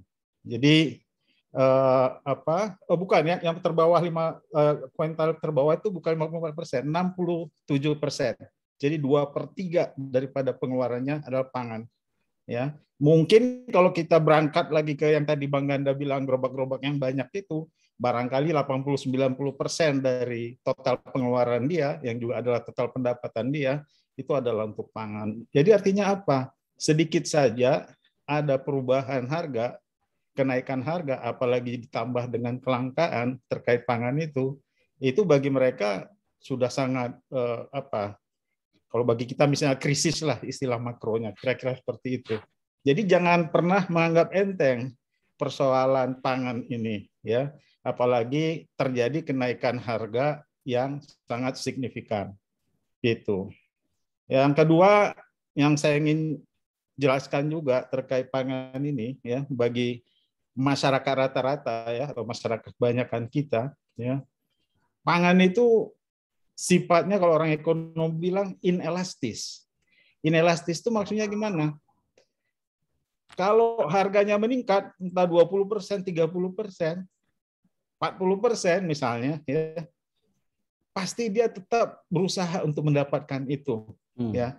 Tidak uh, mungkin penurunan konsumsi dia akan terjadi tapi relatif sedikit ya karena bagi dia kalau dia nggak makan dengan tingkat uh, konsumsi dia yang memang udah sangat terbatas ya itu adalah merusak kesehatan dia atau mungkin juga membuat dia jadi tidak produktif tidak bisa apa-apa gitu ya itulah sebabnya ya yang namanya subsidi ya untuk pangan itu itu mau tidak mau harus ada dan konstitusi kita menjamin itu gitu. Itu yang kedua Mas Nur ya. Nah, yang ketiga mungkin terkait dengan katakanlah eh, Migor sekarang ini ya. Migor ini juga masih eh, cukup ramai ya. Eh, apa yang dilakukan pemerintah ya dengan melepas subsidi ya, bukan melepas subsidi sebetulnya. Jadi yang yang untuk minyak dalam kemasan gitu ya, itu diserahkan harganya ke pasar ya. Uh, mungkin itu oke okay sebetulnya ya, itu oke okay, ya. Dengan catatan ya, dengan catatan bahwa uh, yang targeted tadi, yang disubsidi tadi untuk masyarakat uh, kecil yaitu yang ada di dalam kemasan curah ya, yang disebut sebagai minyak goreng curah itu dipastikan ada dulu gitu. Jadi sequence itu matters dalam kebijakan publik ini. Hmm. Maksudnya gimana? Satu, barangnya itu harus ada betul, ya. Yang kedua, ya, yang betul-betul harus standby langsung bisa di bisa dibeli itu adalah bagian tadi yang nggak bisa menunda lagi yang menghadapi demand yang elastis tadi, yaitu yang betul-betul memang dia disubsidi itu harus ada barangnya, ya. Baru sequence berikutnya ya adalah yang dalam kemasan yang siapa saja bisa beli dengan harga segitu yaitu untuk kelas menengah ke atas. Yang terjadi kemarin kan kebalik ya, kebalik karena dia kebalik ya. Jadi begitu diumumkan yang dalam kemasan tiba-tiba ada di berbagai eh, outlet ya, yang bisa beli itu siapa?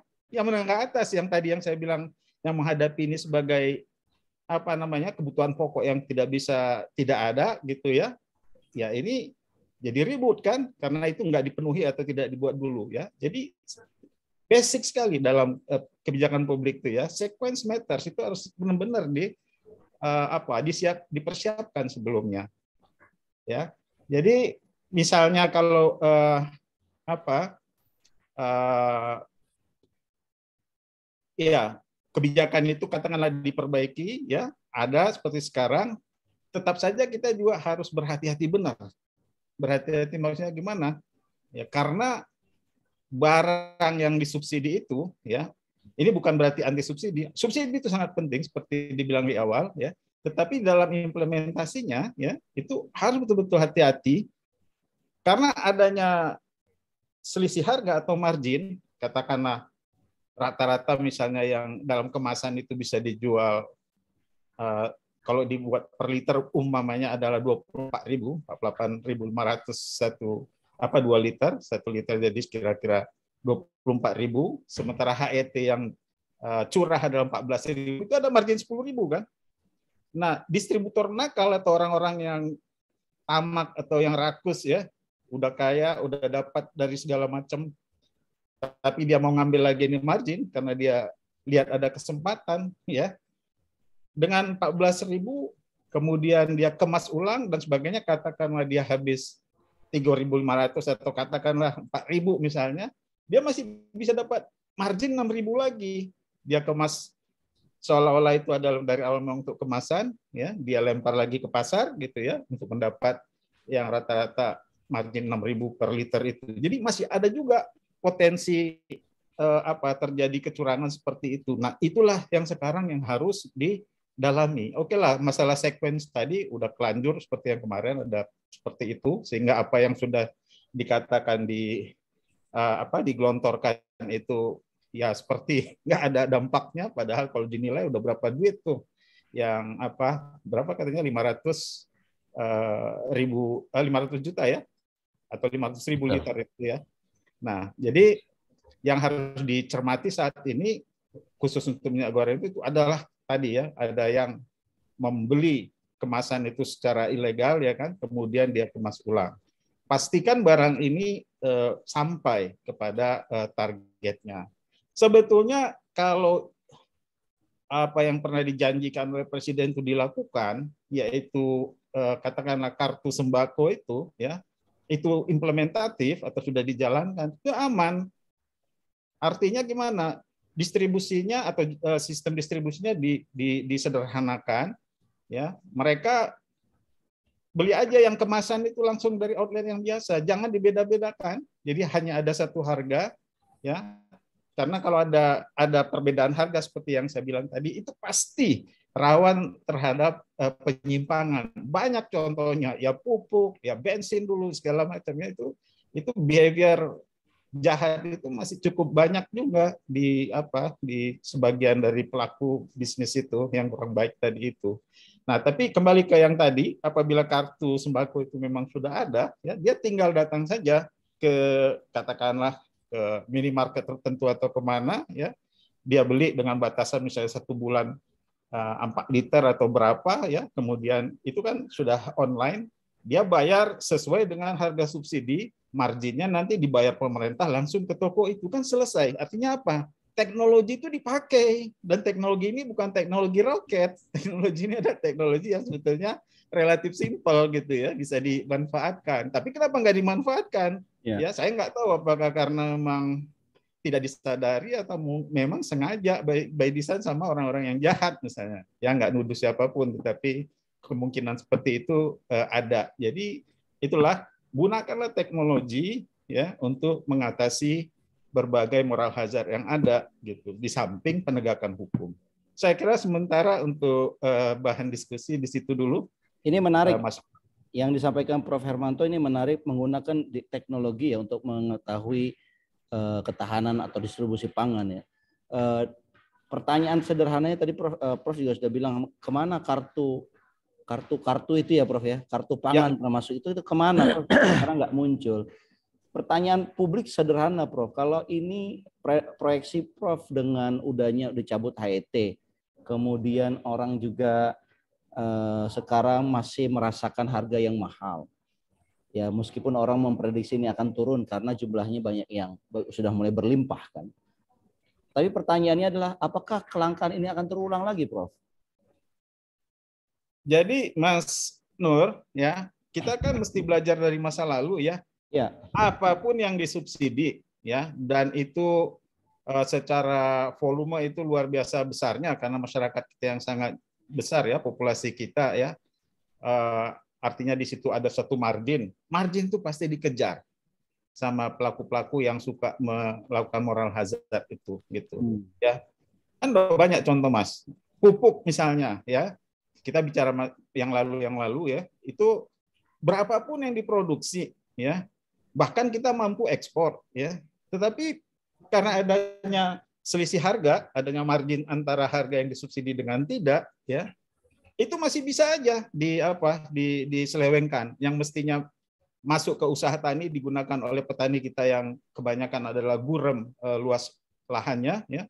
Ya karena itu murah dibeli oleh e, oknum lah katakannya atau distributor yang nakal gitu ya.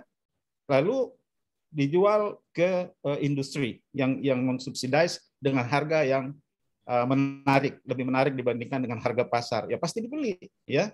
Nah, jadi berapapun yang di apa di ditargetkan yang sebetulnya secara jumlah harusnya bisa penuh memenuhi, ya, tetap saja kurang di bawah karena istilahnya tadi ada merembes istilahnya.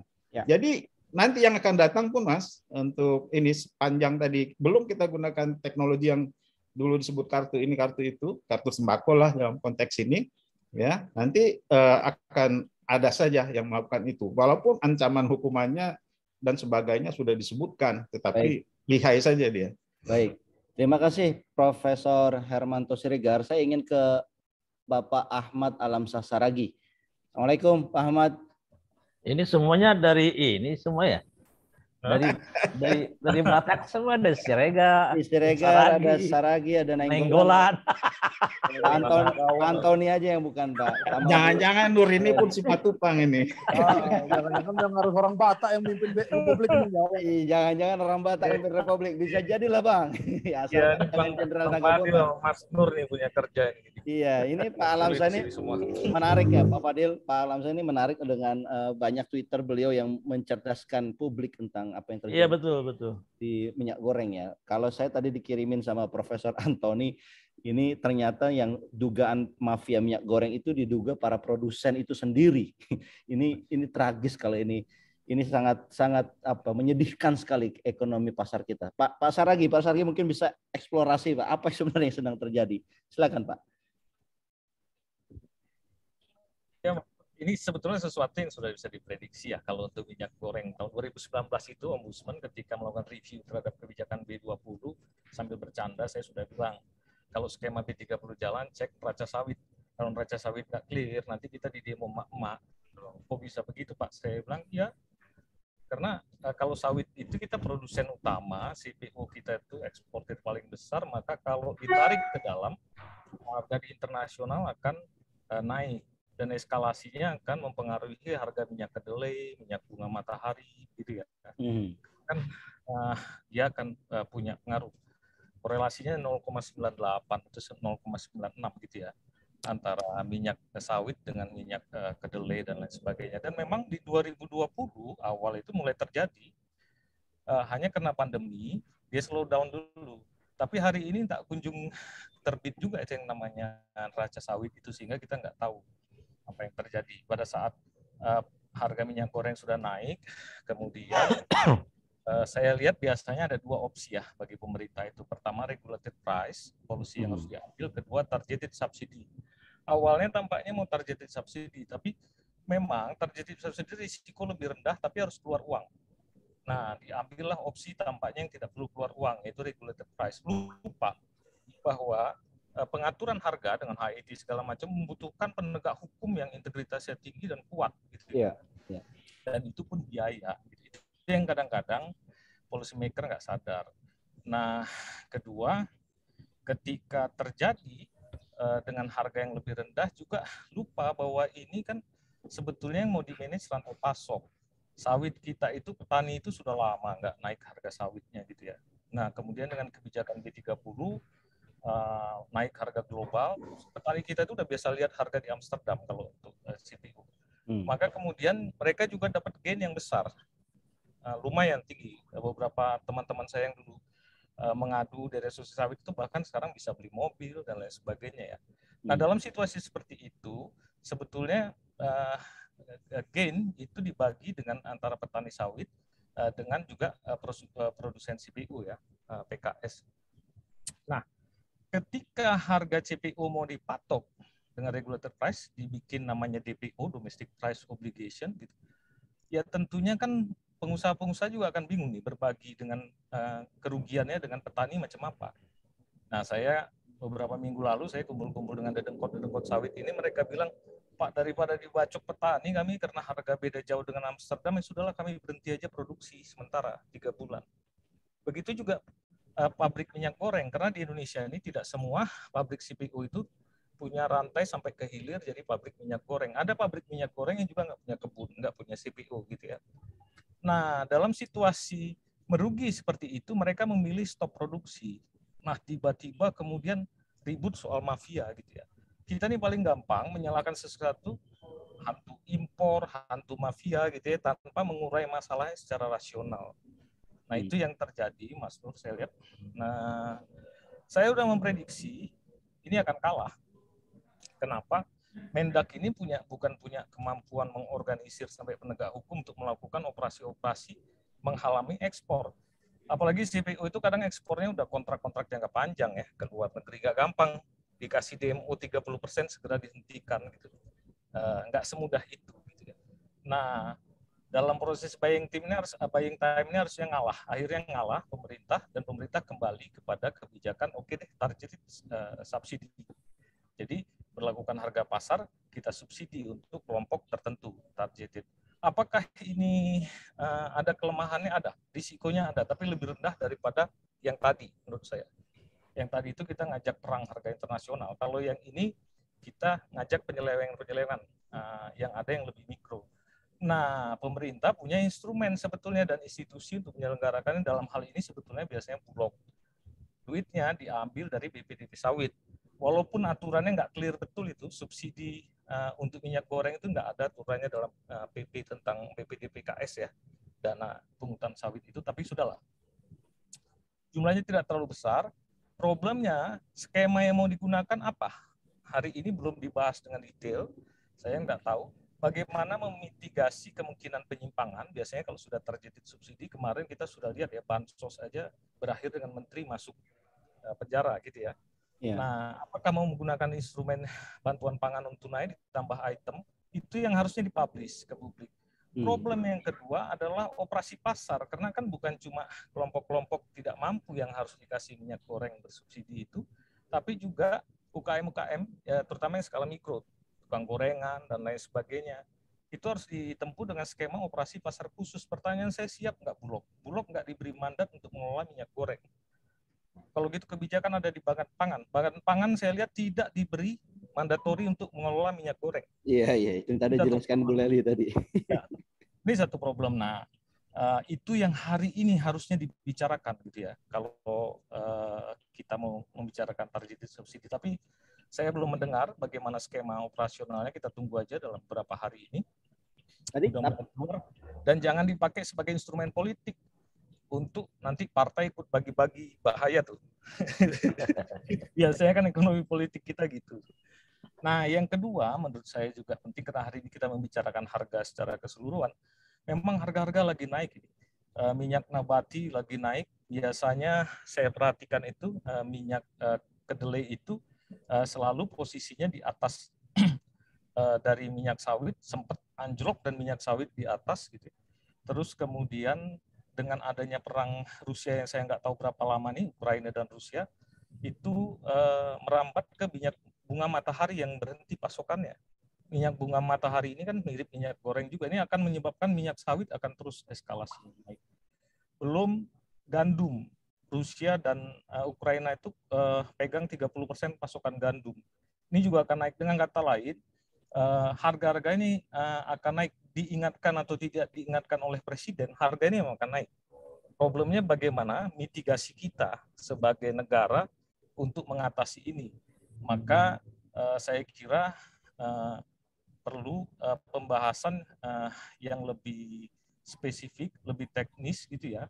Bagaimana mengatasi dampak dari kenaikan harga ini mengingat yang dibilang Pak Hermanto tadi, uh, mayoritas warga kita itu 50% pengeluarannya untuk makanan. Jadi eh, bagaimana mengatasi ini bukan sekedar eh, disuruh waspada agar eh, efeknya kemudian tidak buruk. Saya sendiri belum bisa membicarakannya karena eh, belum sempat eh, melihat beberapa skema yang ada eh, kemarin diminta untuk menyampaikan ini. Tapi intinya saya ingin mengingatkan belajar dari kasus eh, sawit itu hati-hati betul dengan rantai pasok dan Ingat, pangan ini adalah kebutuhan uh, yang menyangkut hajat hidup orang banyak dan pasal 33 Undang-Undang Dasar kita sudah menyatakan dikuasai oleh pemerintah.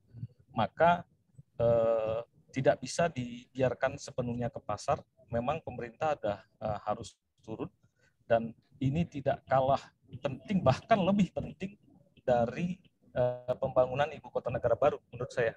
Uh, itu yang uh, kita harus ingatkan dalam waktu satu bulan ke depan tampaknya semua komoditi ini pemerintah harus sudah punya opsi untuk mengatasi kenaikan harga. Saya baru sampai bisa uh, begitu, uh, Mas Nur. Mas Fadil uh, belum bisa menyampaikan juga dengan data-data agak kurang enak saya biasanya kalau kalau menyampaikan sesuatu itu biasanya saya sertakan data-data. Tapi uh, mudah-mudahan um, bisa melengkapi dan menambah uh, apa sharing kita saya senang saya senang karena Pak Alamsah tadi cerita habis ketemu dengan para cukong-cukong CPO ya.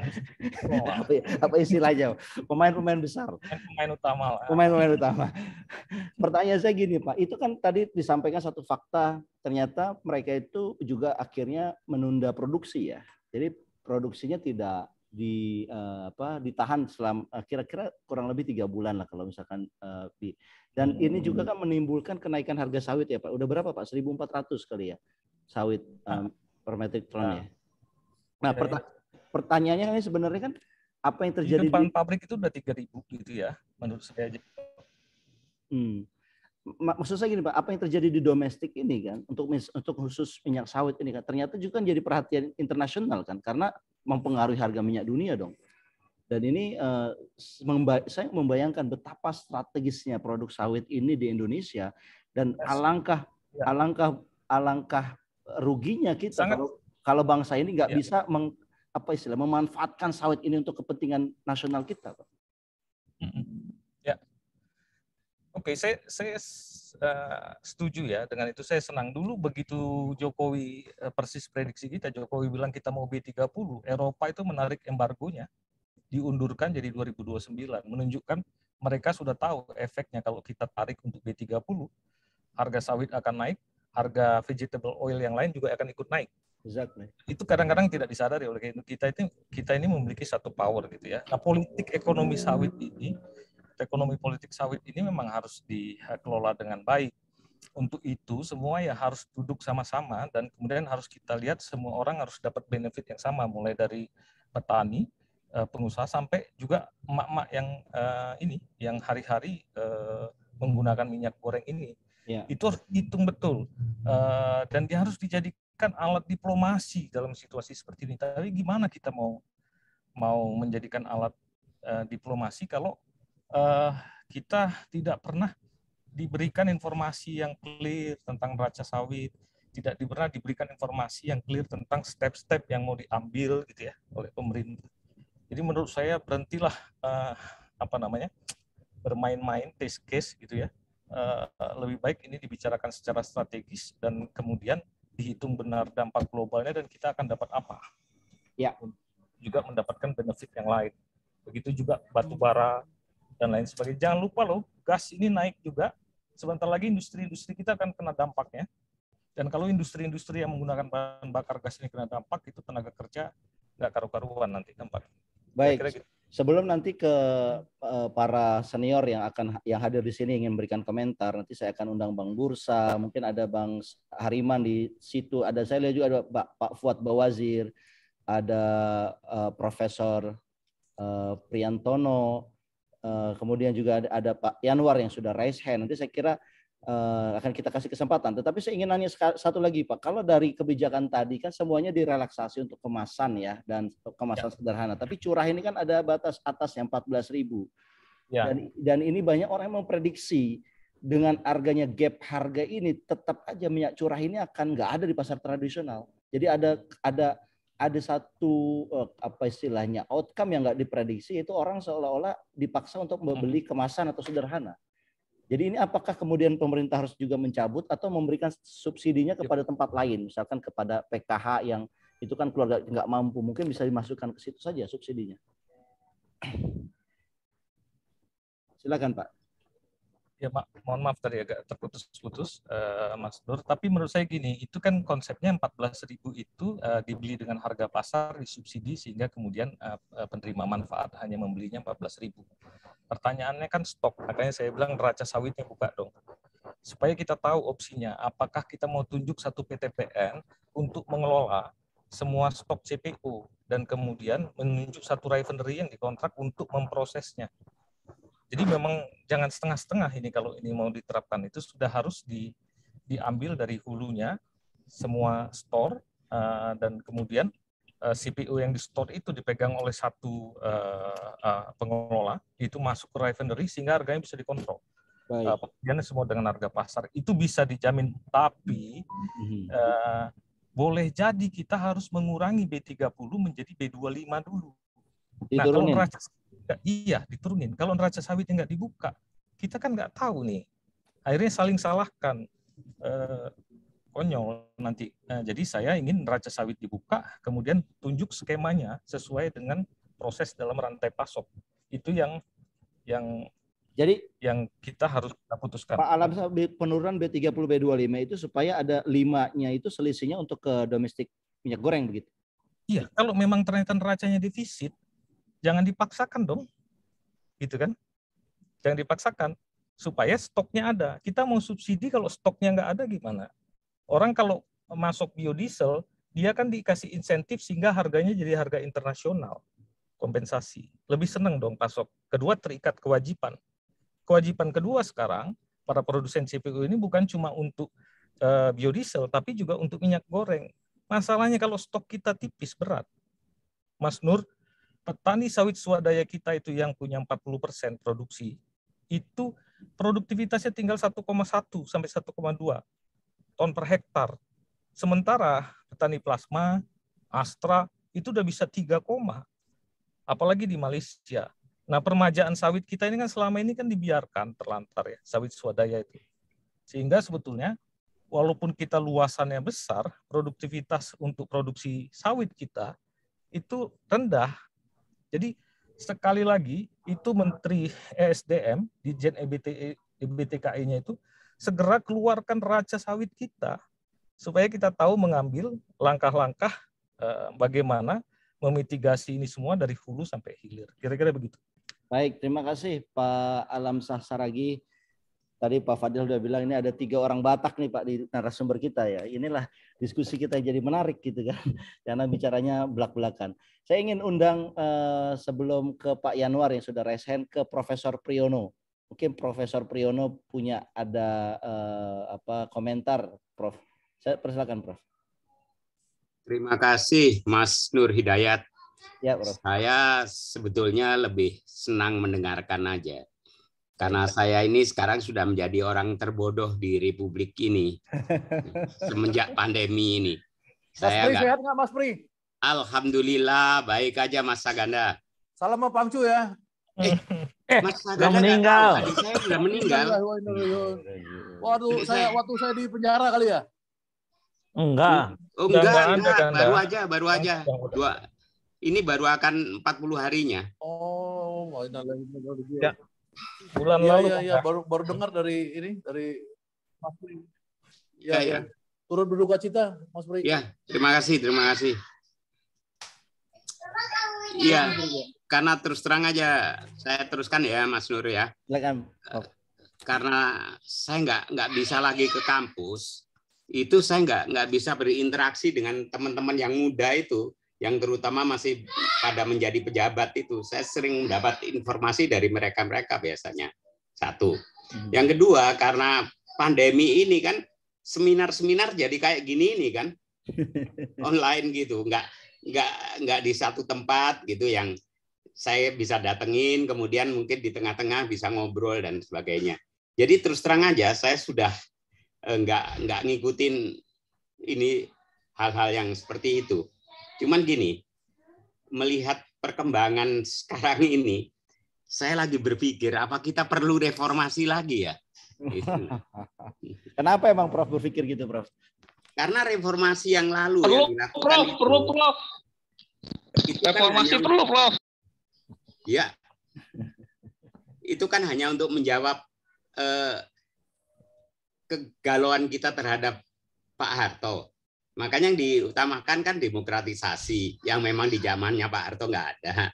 Yang kedua adalah anu otonomi daerah yang di zamannya Pak Harto semuanya terpusat. Yang ketiga itu sebetulnya adalah good governance karena adanya globalisasi. Nah, itu yang mungkin harus kita lakukan sekarang. Kita tata kembali lah eh, pemerintahan ini. Bagaimana apa eh, institusi yang perlu dan sebagainya. Karena kalau zamannya Pak Harto, semuanya itu kan dilakukan secara mistik kan. Pak Harto itu kan punya dua hal yang sangat ini, angka ya dan satu lagi hari. Nah itu dipegang betul itu dua-dua itu ya. Masih ingat nggak kenapa kita ada sidang MPR dari tanggal 1 Maret sampai 11 Maret? Hmm. Maka kan sidang MPR cuma tiga empat hari aja cukup. Kenapa dipanjangin kayak gitu? Itu kan karena serangan 1 Maret itu menurut Pak Harto itu dia yang ini kan, meskipun akhirnya bukan. 11 Maret itu surat perintah. Jadi zaman Pak Harto itu dibikin mistik yang kayak gitu-gitu semuanya gitu. Apalagi di tempat saya ya di BKN waktu itu Waktu saya masuk ke BKN itu saya tanya pada deputi di sana itu, kenapa sih golongan satu itu A sampai D, golongan dua juga sama, golongan tiga juga sama, golongan empat itu kok sampai E? Itu alasannya apa? Ya mereka semua jawab, itu peraturan Prof. Dasmu itu peraturan dalam hati saya. Peraturan itu kan dibikin orang. Mari kita iya. hitung sama-sama. Golongan satu sampai golongan tiga itu A sampai D. Jadi berapa? 3 kali 4 kan? 12. 12. Begitu golongan 4 itu 5. jadi 5. Jadi berapa? 17. 17. Nah. Terus saya bilang, apa artinya? Diam semuanya. Ini tadinya mau dibikin 8, kependekan 45, kepanjangan. Makanya bikin 17. 17 Agustus. Jadi angka-angka keramat itu yang dipegang betul oleh Pak Harto. ya, Kemudian ya, ya. juga hari-hari keramat itu. Nah, mistik itu yang yang menyebabkan beliau bisa sampai ini. Tapi kemudian di kendi mas kendi kendi. Kenapa? kendi. Sekarang kendi. Eh, nah itu itu itu masa gada. Saya mau baru bangun ngomong soal itu. Ya, jadi dulu itu kayak gitu. Kemudian kan saya dengar itu partainya cuma ada tiga. Tapi PDI waktu itu dan P3 itu diatur betul oleh Pak Harto terus terang aja. Jadi kalau anu apa pemilihan umum sekarang ini PDI yang lumayan dapatnya 100 kursi misalnya ya. Nanti yang berikutnya P3 satu. Kemudian yang jadi anggota DPR dari PDI sama P3 diseleksi itu sama Pak Harto itu. Jadi benar-benar anu otoritarian itu. Nah, cuman kenapa kok jadi bisa berhasil kayak gitu? ada satu buku yang menarik, Mas Nur. Itu buku udah 10 tahun yang lalu kalau nggak salah diterbitkan. The Economic Gangster namanya. Oh iya. Nah, udah pernah baca kan? Udah pernah baca, Bro. Iya, itu kan bab duanya bab duanya tentang Soeharto kan, Indonesia ya. under Soeharto. Iya, the Asian itu yang eh, yang semuanya pada kaget gitu. Di negara-negara Afrika kalau pimpinannya itu ekonomi gangster kayak gitu, hancur berantakan itu.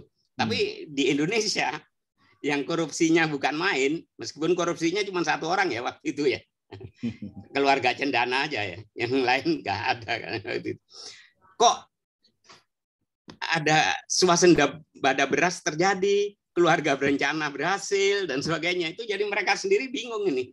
Baik, ini, Makanya dibuat kayak itu. Nah itu ya. Jadi sekarang ini tadi kan ada yang nyebut masalah IKN ya saya jadi bertanya-tanya karena masa gada bilang ini sebentar lagi terjadi deh eh, keadaan sosial yang bukan main. Ini kan hampir sama dengan waktu zamannya Bu, anu Bu, almarhum Bung Karno kan. Bung Karno waktu bikin Monas sama Senayan itu kan nggak punya duit kita. Tapi karena itu kebanggaan dibikin. Nah ini dalam keadaan kayak gini, hancur lebur kayak gini nih apa eh, minyak goreng ini kok dibikin IKN yang bukan main itunya. Nah, saya khawatir sejarah berulang. Jas merah ya.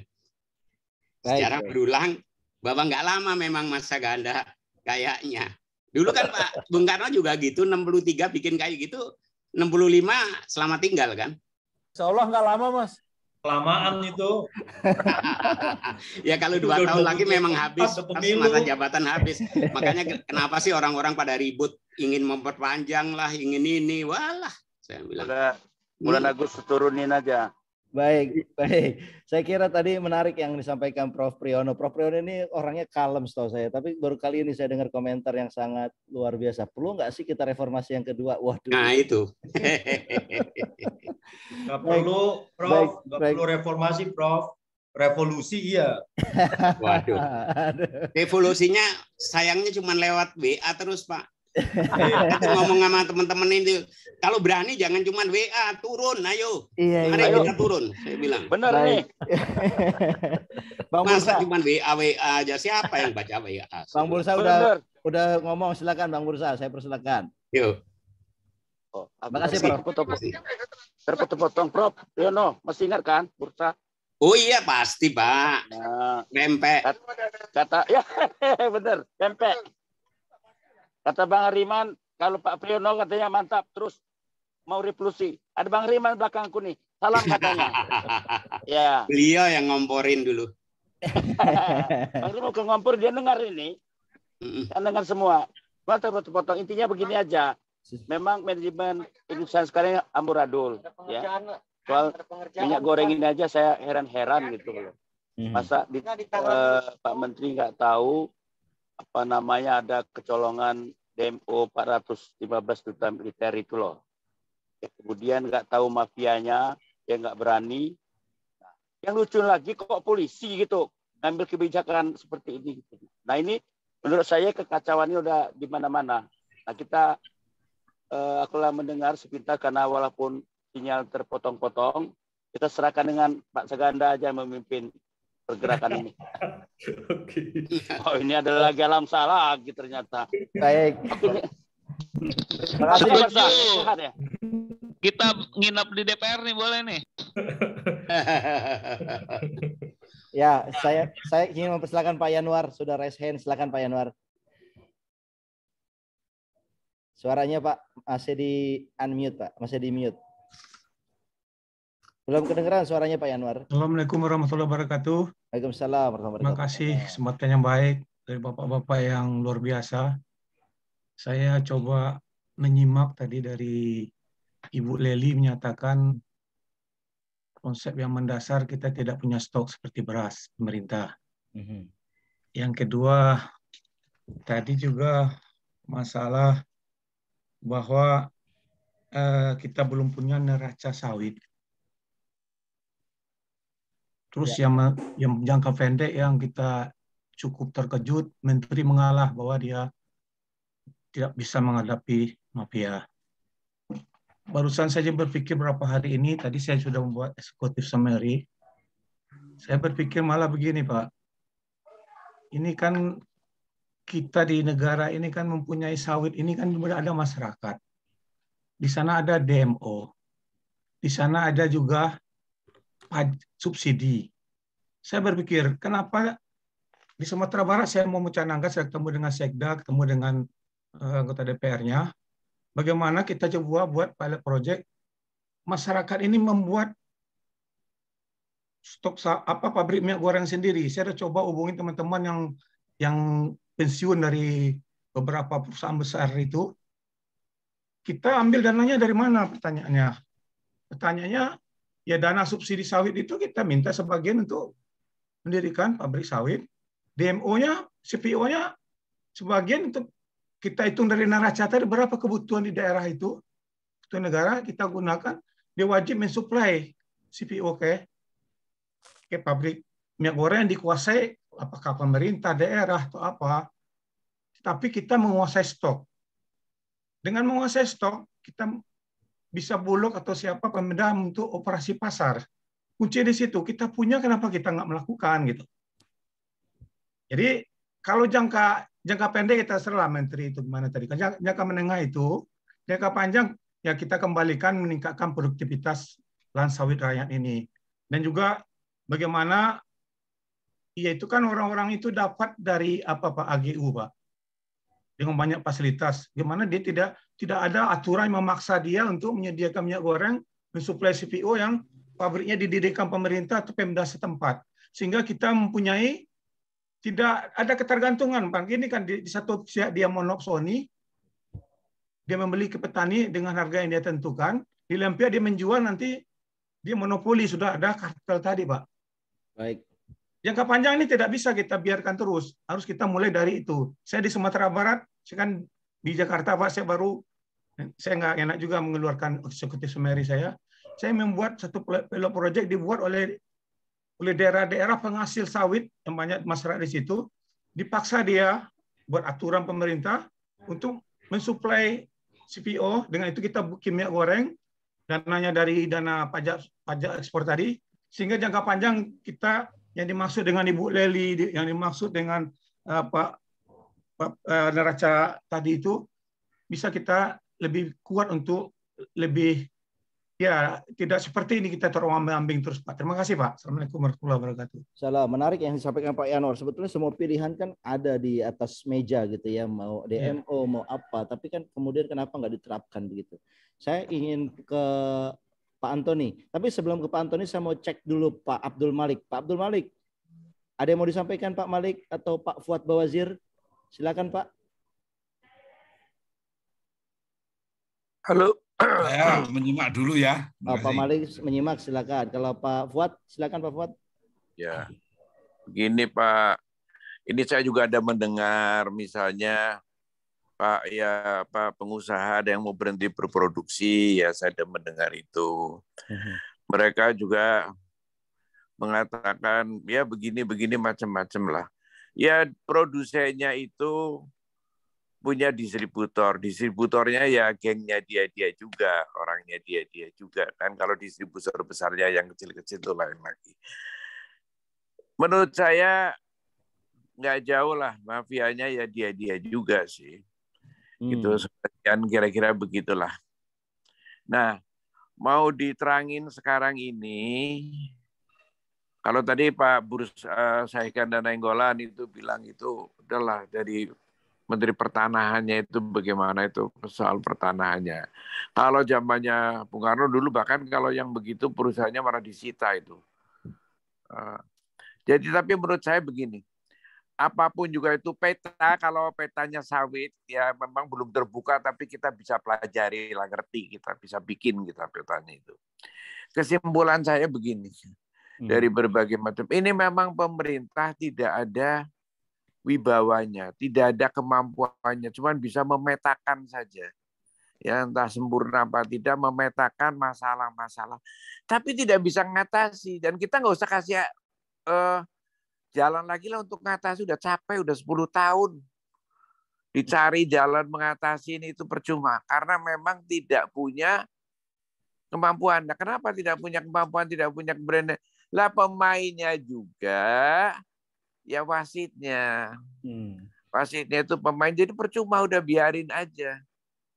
Diliatin saja. Kita teriak-teriak ya boleh saja tapi saya suruh kasih solusi sekarang setelah saya lihat begini nggak ada gunanya gitu karena tidak akan dikerjain karena dia tidak punya keberanian hmm. yang dia juga punya konflik punya kepentingan kira-kira begitu susah kan jadinya masalahnya itu iya iya ya ya tunggu sajalah. Nanti kalau udah ganti rezim. Jadi kalau ganti rezim itu masalah mal gampang aja. Ya relatif gampang lah masalah itu. Tinggal netepin masalahnya bagaimana ya sudah bisa diatasi kira-kira. Kalau dilihat tuh Malaysia meskipun itu subsidi gitu ya. Tapi kan bisa dia bisa diatasi juga bisa tenang dengan harganya itu.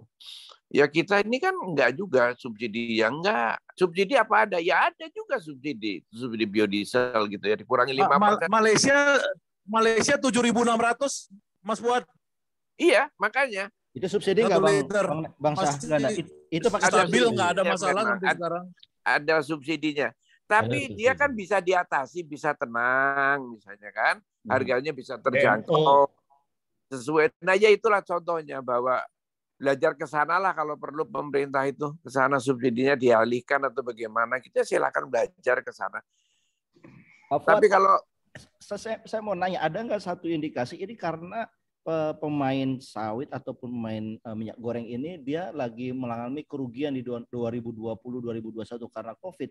Karena itu dia kejar di 2000 dua-dua ah, enggak, itu, enggak itu tuh serakah saja lah itu serakah saja itu kerugian apa itu bang serakah saja mereka itu udah kaya banget kok hmm. masih aja itu bikin pusing aja ini lihat rakyat yang ratus juta ini yang menderita begini ya nggak masalah kok mereka mau menjadikan masalah bandit sana itu Baik. Iya, jadi ya nggak bener lah itu. Kita kok mesti mikirin. Nah, tapi pemerintah mikirin mereka. Hmm. Lebih banyak mikirin mereka. Lebih banyak ya yang gelintiran orang itu untuk lebih kaya lagi bagaimana. Tapi ya dianya juga bagian dari pemerintah itu kan sebagian bagian daripada itu juga. gitu. Jadi yuk mau kasih solusi buat apa gitu loh. Iya. Sekian terima kasih. Makasih Pak Fuad. Terima kasih dahsyat. Dahsyat. Saya ingin komentar dari Prof Antoni. Silakan Prof. Iya, eh, sorry. Ya begini, tadi ada beberapa hal ya. Pertama adalah kalau kita lihat ini kenaikan harga dari sawit ini bukan kenaikan supply dan demand. Ini adalah kenaikan komoditas dunia. Pemicunya adalah harga internasional. Sekali lagi bahwa ini adalah dari eh, kebijakan moneter global yang inflationary. Itu pertama. Jadi tidak mungkin harga ini akan turun. Eh, biarpun di sini permintaannya kurang dan sebagainya itu tidak akan turun gitu. Karena ini adalah commodity price yang di, di itu.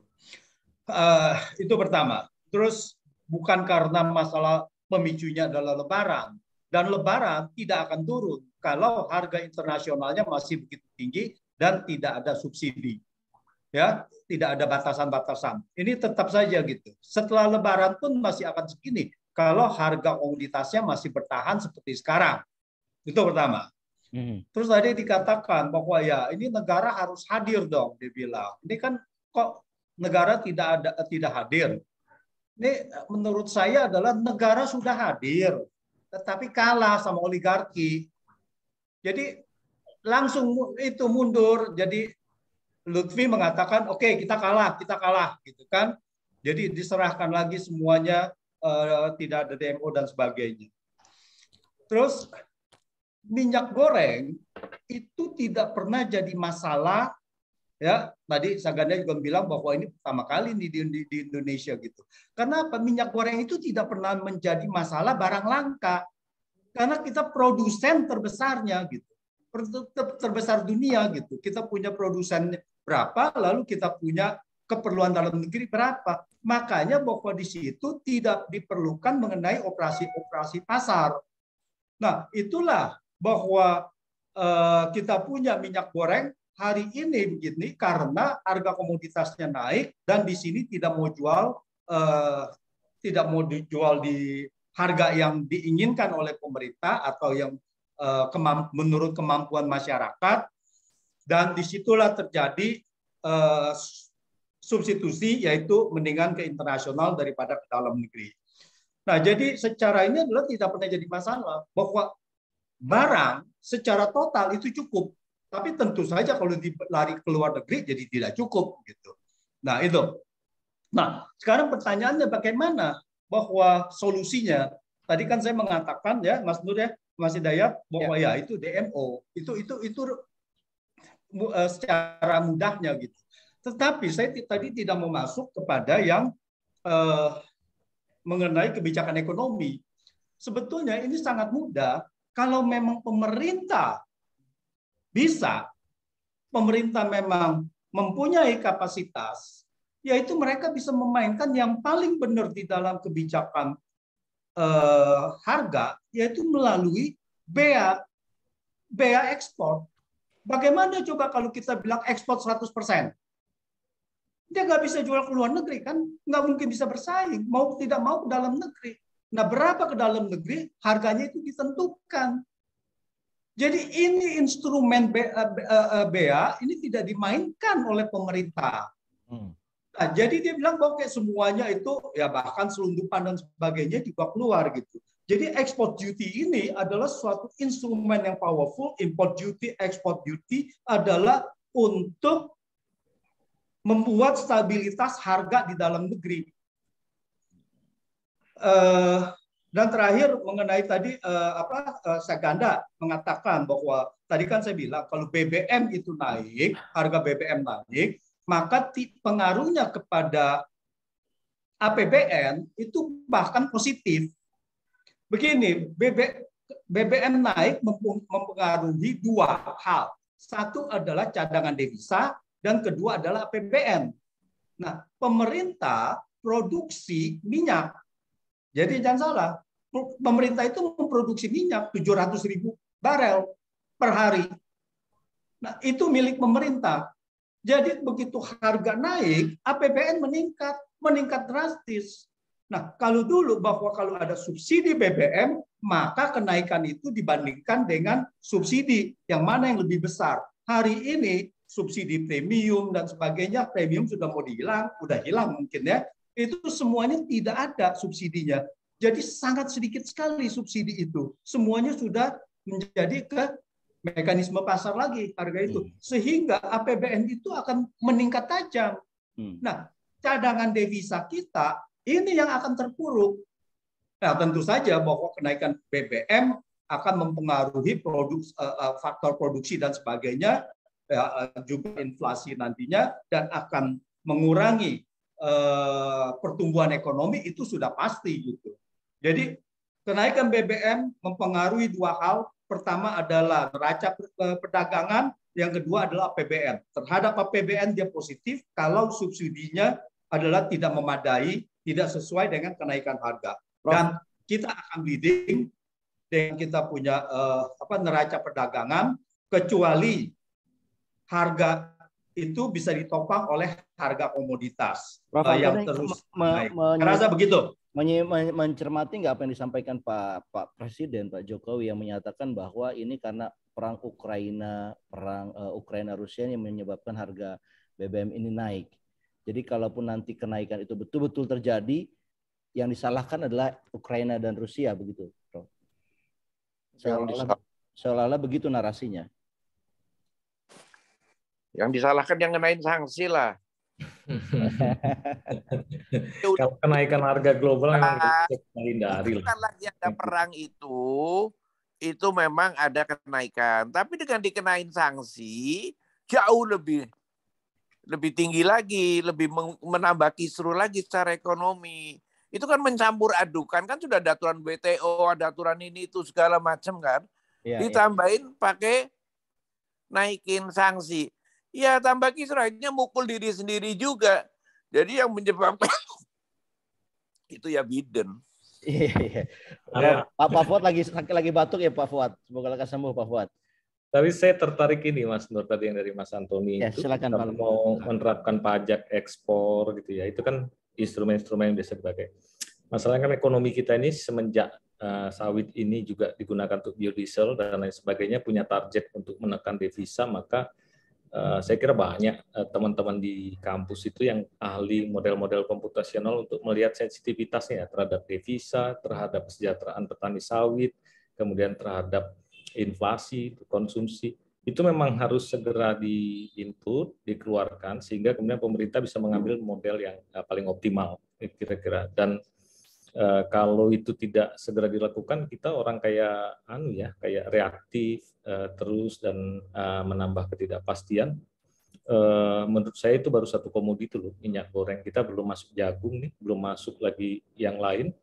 Hal-hal uh, seperti itu ya itu harus ditangani dengan dingin dan kemudian ya bisa diambil. Dan terakhir tentunya untuk ekonomi politik globalnya komoditi-komoditi yang kita memiliki keunggulan karena bagaimanapun juga kita kasih pajak ekspor tinggi seperti CPU ini karena kita produsen paling besar harga di global juga ikut naik uh, jadi itu harus dihitung yang paling optimal berapa.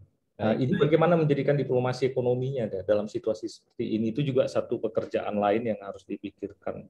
Saran saya seperti itu saya uh, mohon maaf Mas Nur saya kira juga sudah closing nih Pak. Ini ya, mungkin ya, statement closingnya Pak Alamsah.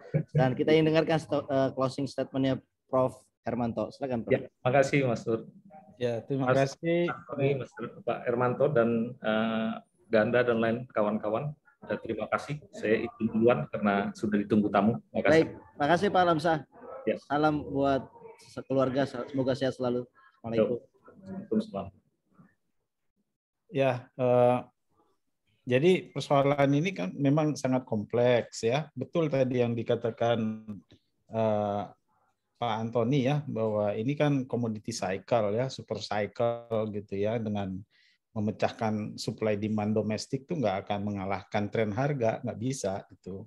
Jadi ya artinya apa? Artinya kita yang mengadjust dengan perubahan itu gitu. Nah jadi kalaupun kita mau apa, mau uh, mengatur katakan behavior daripada produsen migor ataupun eksportir ya. Ya kalau teori bilang kuantitatif restriction membatasi demo segala itu nggak akan nggak akan nggak akan efektif. Dan udah kita lihat juga ya buktinya bahwa dia kurang efektif. Jadi yang paling paling optimal ini juga ada teorinya ya, ya memang menerapkan uh, apa uh, biaya keluar kalau bahasa bahasa kita di sini. Dan itu memang sudah ada dan saya juga di medsos berapa kali juga menekankan bahwa mainkan biaya keluar gitu ya tapi uh, barangkali uh, apa ya mungkin belum disadari atau apa nah kalau itu di disesuaikan ya biaya keluar itu kan memang uh, yang ada itu kan dia uh, apa progresif, ya. Mm -mm apa Kang Fadil pasti tahu benar lah mengenai hal itu. Ya jadi dengan harga tertentu dia sekian persen. Nah, jangan pakai itu, disesuaikan. Siapa yang melakukan penyesuaian? Kementerian Keuangan. Ada juga gunanya bagi pemerintah. Jadi akan dapat dapat pemasukan juga di sana. Tapi behaviornya nanti karena mengekspor menjadi tidak lagi apa, tidak lagi menarik, Mas Nur, dia akan dengan sendirinya uh, membiarkan produksi dia di dalam negeri dan ya. di dalam negeri uh, apa kita uh, dua yang kita mainkan satu terhadap eksportir seperti tadi dengan biaya keluar tadi misalnya satu lagi untuk uh, konsumen kan untuk konsumen seperti tadi dikatakan karena memang uh, nature daripada atau komposisi daripada konsumen kita paling banyak itu adalah yang apa yang kelas bawah lah katakan gitu mohon maaf gitu ya. Tapi ya dengan seperti itu subsidi itu menjadi tetap harus ada. Persoalannya how to deliver the subsidy kan hmm. itu. Hmm. Ya Malaysia juga, kita juga. Kenapa mereka uh, bisa berhasil? Karena dibuat simple, tidak complicated ya. Di, dibuat simple misalnya tadi yang saya katakan Mas Nur. Jadi misalnya itu dijual di tempat-tempat biasa saja, tetapi dengan apa kartu pinter atau kartu apa tadi, kartu sembako ya, misalnya dia tetap membayar sesuai dengan administer price. Ya kalau di kita 14.000 itu nanti selisihnya itu ditagih oleh distribu apa namanya retailers itu kepada pemerintah gitu. Jadi semua harus dimainkan dan memang kita memang concernnya adalah tadi ya menstabilkan harga itu. Baik. Nah, kemudian terakhir yang barusan tadi disampaikan Mas eh, apa eh, eh, Syah ya, itu memang betul. Sejak 2016 kami udah udah udah exercise, sudah udah 2000 bukan ya, 2012 kalau nggak salah ya Mas Fadil ya. Itu uh, kita udah exercise dengan CGE model ya, competitive general equilibrium model ya mengenai kemungkinan akan ada kompetisi antara biodiesel dengan food security ya ada jadi uh, suatu saat itu akan terjadi gitu gitu. Nah, ini kan dengan tapi kan konteksnya berbeda dengan sekarang. Kalau sekarang konteksnya adalah price settingnya tinggi semua gitu ya. Jadi harus di run lagi itu model dan saya kira siap kampus-kampus itu untuk memberikan hasil analisis kuantitatif yang objektif. Baik. Terima kasih Pak Hermanto Siregar. Terima kasih Pak Antoni. Mungkin Pak Antoni ada closing statement Pak, sedikit Pak. Pak Bang Bursta belum? Eh Bang Janurbi, eh Bang Saganda. Bang Saganda tadi udah izin Pak. Si oh, Oke. Okay ada keperluan sama Pak Alamsah tadi juga sudah sampai. Pak Antoni ada closing statement. Pak. Bu Leli, Bu Leli. Bu Leli tadi sudah, Bu Leli masih ada Bu? Izin Bu? Oh sudah live juga Pak, karena ada keperluan tadi. Iya, uh, saya rasa gini bahwa kalau kita biodiesel kita dijadikan bio apa uh, uh, kita punya sawit itu dijadikan biodiesel, itu sebetulnya adalah bukan by strategy uh, uh, Pak Hermanto. Itu sebetulnya adalah pada saat itu harga CPO lagi turun sekali sehingga itu sebenarnya untuk membantu. Nah mereka minta bantuan, jadi kita untuk ke sana memberikan itu gitu. Tetapi sekarang menjadi bumerang. Kalau seandainya ini substitusi impor, ini juga tidak benar. Karena apa? Karena CPO itu diekspor. Kalau kita tahan di dalam negeri untuk energi, memang kita tidak impor, kita punya BBM, ya kita punya crude oil, kita tidak impor, tetapi juga kita tidak ekspor, kita punya CPO. Jadi sama saja karena kebutuhan minyak goreng itu adalah tetap, yang lainnya adalah diskrepensi bahwa itu akan diekspor gitu. Jadi kalau kita balikan lagi energinya sawitnya CPO-nya menjadi biodiesel, mengurangi impor tetapi juga mengurangi ekspor. Itu saya pernah jelaskan gitu. Itu bukan ini. Nah, inilah bahwa sudah ditolong sejak 2015 karena ini 2015 saya sempat membicarakan hal ini. Yang dimulai B10 Berapa kemudian itu ya Prof ya B10 B20. Ya, harus diturunkan. Iya, ya. B10, B20 dan sebagainya. Ya, Nah, Jadi ini kalau- Ya, jangan B30 lagi, turunkan. Terlalu- Iya. Iya, mm-mm. Menarik. Karena pada saat itu sudah banyak yang komplain tidak bisa dan sebagainya dan sebagainya. Saya rasa ya gitu karena apa? CPO karena itu murni adalah untuk menolong, menolong pengusaha sawit itu waktu. Baik. Udah ditolong malah digebuk kita. Ya, betul. Baik, Prof. Antoni. Terima kasih, Prof. Antoni. Terima kasih, Pak Hermanto. Tapi sebelum kita tutup, kita dengarkan dulu catatan penutup dari Pak Fadil. Silakan, Pak. Iya, terima kasih. Saya kira eh, sebenarnya tadinya kita ingin membahas eh, apa namanya komoditas secara lebih luas lah gitu kan. Eh, karena yang naik itu bukan hanya minyak goreng, ya kan, tapi juga daging, ya, kemudian kedelai, tempe, tahu, gitu, kemudian juga eh, ayam, gitu kan, eh, cabai dan seterusnya kan gitu. Nah ini kan sebenarnya eh, apa namanya apa kita kita kita hadapi ketika kita menjelang Ramadan juga gitu. Jadi kan sesuatu yang lebih kompleks sebenarnya. Kalau yang terkait dengan eh, minyak goreng itu sebenarnya kan sudah ada polisinya walaupun tidak efektif gitu ya. Eh, dan sekarang ini sebagian sudah ada perbaikan lah dengan adanya DMO dan DPO sudah dihapus, kemudian harga disesuaikan keekonomiannya, tapi masih ada persoalan ya, tersisa saya kira yang terkait dengan masih adanya disparitas itu gitu. Nah sekarang kan persoalannya eh, bahwa kita memerlukan subsidi itu kan betul itu. Nah cuman bagaimana memberikan subsidi yang efektif dan targeted gitu ya. Nah itu kan persoalannya.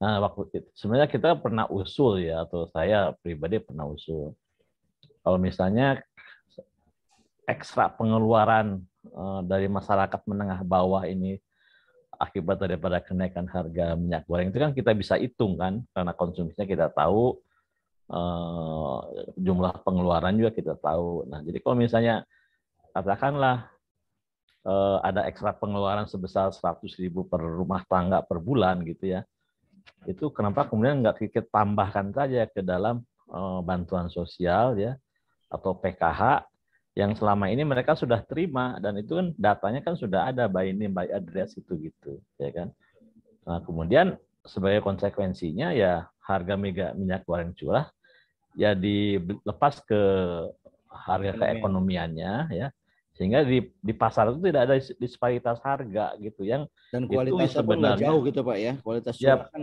kadang Iya, jadi Oh, artinya ada kami. perbedaan tapi nggak jauh kan, sehingga itu masalah preferensi aja dan kemampuan gitu. Sehingga tidak ada lagi kemungkinan eh, apa namanya berbagai macam itu apa namanya nih eh, eh, illegal economic eh, activities itu gitu kan penyelundupan, kebocoran dan juga tidak ada lagi eh, ini apa namanya nih pengawasan satgas, polisi, kemudian partai politik jualan. Ya, jadi, jadi ini udah nggak benar kan itu seperti itu kan gitunya. Jadi saya kira seperti itu mekanisme yang mungkin bisa dipertimbangkan. Cuman karena keputusan itu sudah diambil, eh, jadi mungkin masih perlu waktu lah untuk mendorong sebuah kebijakan yang lebih, menurut saya itu yang lebih eh, apa namanya ya. bisa dilaksanakan gitu ya. Baik. Ya seperti itu. Nah yang kedua saya kira untuk yang terkait dengan BK dan levy ya, kan sekarang ada dua jenis pungutan ya, ada pun- pungutan ekspor yang dananya dikelola BPDPKS, ada yang bea keluar yang itu merupakan bagian daripada penerimaan negara bukan pajak. Sekarang ini dua-duanya udah dinaikin Pak Antoni Eh, supaya untuk bisa pertama mungkin untuk pungutan ekspor ini bisa membiayai subsidi itu ya kan. Nah, kemudian eh, bea keluar itu memang karena merupakan penerimaan negara bukan pajak gitu ya. Eh, tapi intinya itu supaya juga ada insentif untuk bisa memenuhi kebutuhan di dalam negeri ya secara eh, memadai. Tapi kalau misalnya terlalu tinggi katakanlah tadi misalnya 100%, wah itu akan menciptakan lagi uh, smuggling ya kan pasti itu itu kan sudah terjadi selama ini apa buat selama ini tahun 98 dah itu masih apalagi kemudian kita tahu sendiri ya kapasitas dan governance daripada aparat kita itu kan masih bisa misalnya lemah lah kan seperti itu. Jadi saya kira mungkin itu ya sebagai catatan penutup dari saya Pak Hidayat ya. Mudah-mudahan kita bisa um, bermanfaat lah diskusi ini. Terima kasih. Baik, terima kasih. Sedikit saja kepada Pak Fadil ya, sedikit saja. Silakan. Itu Ya, ya, ya. gimana gimana bea ekspor itu bisa menjadi eh, pajak eh, penerimaan negara bukan pajak? Bea keluar ekspor? maksudnya. Enggak, enggak. Jadi Bea kan ada dua. Bea keluar kan kan kayak pajak ekspor. Itu kan eh, merupakan penerimaan negara bukan pajak, Pak. Itu kan diambil oleh pemerintah, bagian daripada penerimaan pemerintah. Nah, kalau pungutan ekspor atau levy ini yang itu merupakan eh, dana yang dikelola oleh BPD PKS itu dan itu harus dikembalikan istilahnya itu kepada industri gitu, termasuk misalnya untuk pengembangan biodiesel, kemudian peremajaan, dan sekarang ini ada sebenarnya item dalam PP-nya itu untuk pangan gitu loh. Ya kan? Pangan itu kemudian eh, diartikan sebagai bentuk subsidi tadi itu. Eh, subsidi pangan. Nah, misalnya dalam konteks ini eh, minyak goreng gitu seperti itu. Struktur BK-nya Kang, Kang Nah, yang harus di ada. struktur BK-nya itu jadi sekarang ini ada dengan existing harga sekarang ya yang lebih daripada 1.500 per metric ton itu jadi eh, apa namanya nih? Belum disesuaikan kan? sudah sudah sudah. Sudah Berapa berlaku sudah berlaku tadi malam. Hmm. Jadi BK-nya itu eh, apa namanya? Sebentar ada BK-nya itu. Nah, ini. Jadi BK-nya itu atau levy-nya adalah pungutan ekspornya itu dalam existing harga sekarang itu jumlahnya itu 375 dolar eh, per ton. Kemudian eh, tadi itu BK-nya itu atau pajak ekspornya itu sebesar 200 eh, US dollar. Jadi totalnya itu sebesar 575 eh, US dollar itu kalau misalnya eh, dengan tingkat harga yang sekarang ini gitu. Itu baru tadi malam katanya di ini kan diputuskan. Seperti Baik. itu ya Pak Hidayat. Baik, terima kasih Pak Fadil. Saya kira ini eh, adalah akhir dari diskusi kita. Saya harus eh, berhutang ya, harus mem, apa istilahnya ya, berhutang ilmu dengan para narasumber kita pada hari ini dan saya kira apa yang disampaikan ini sangat bermanfaat sekali. Terima kasih buat Profesor Dr. Hermanto Siregar, kepada Bapak Ahmad Alamsah, Profesor Antoni Budiawan, Abang Sahganda dan Ibu Leli Pulitasari yang sudah memberikan paparan yang luar biasa. Saya terus terang, Prof, sangat menikmati diskusi ini dan memperoleh banyak ilmu ya. Dan saya kira teman-teman audiens di YouTube dan di Zoom juga demikian. Juga kepada para senior-senior yang memberikan komentar ada Bang Pursa tadi, Pak Fuad Bawazir, kemudian Pak Yanwar, dan juga Profesor Priyono yang eh, memberikan komentar yang sangat eh, eh, berkontribusi sekali ya dalam diskusi kita. Saya ucapkan terima kasih. Inilah diskusi kita, akhir dari diskusi kita. Eh, mohon maaf apabila ada kekurangan. Assalamualaikum warahmatullahi wabarakatuh. Terima kasih, Prof. Terima kasih. Antoni. Bang Anto, Antoni. Antoni, Pak Fadil. Yuk, makasih, Terima kasih, Pak. Sampai ketemu. Ketemu. Insyaallah. Um, terima kasih banyak. Pak. Salam. Nah,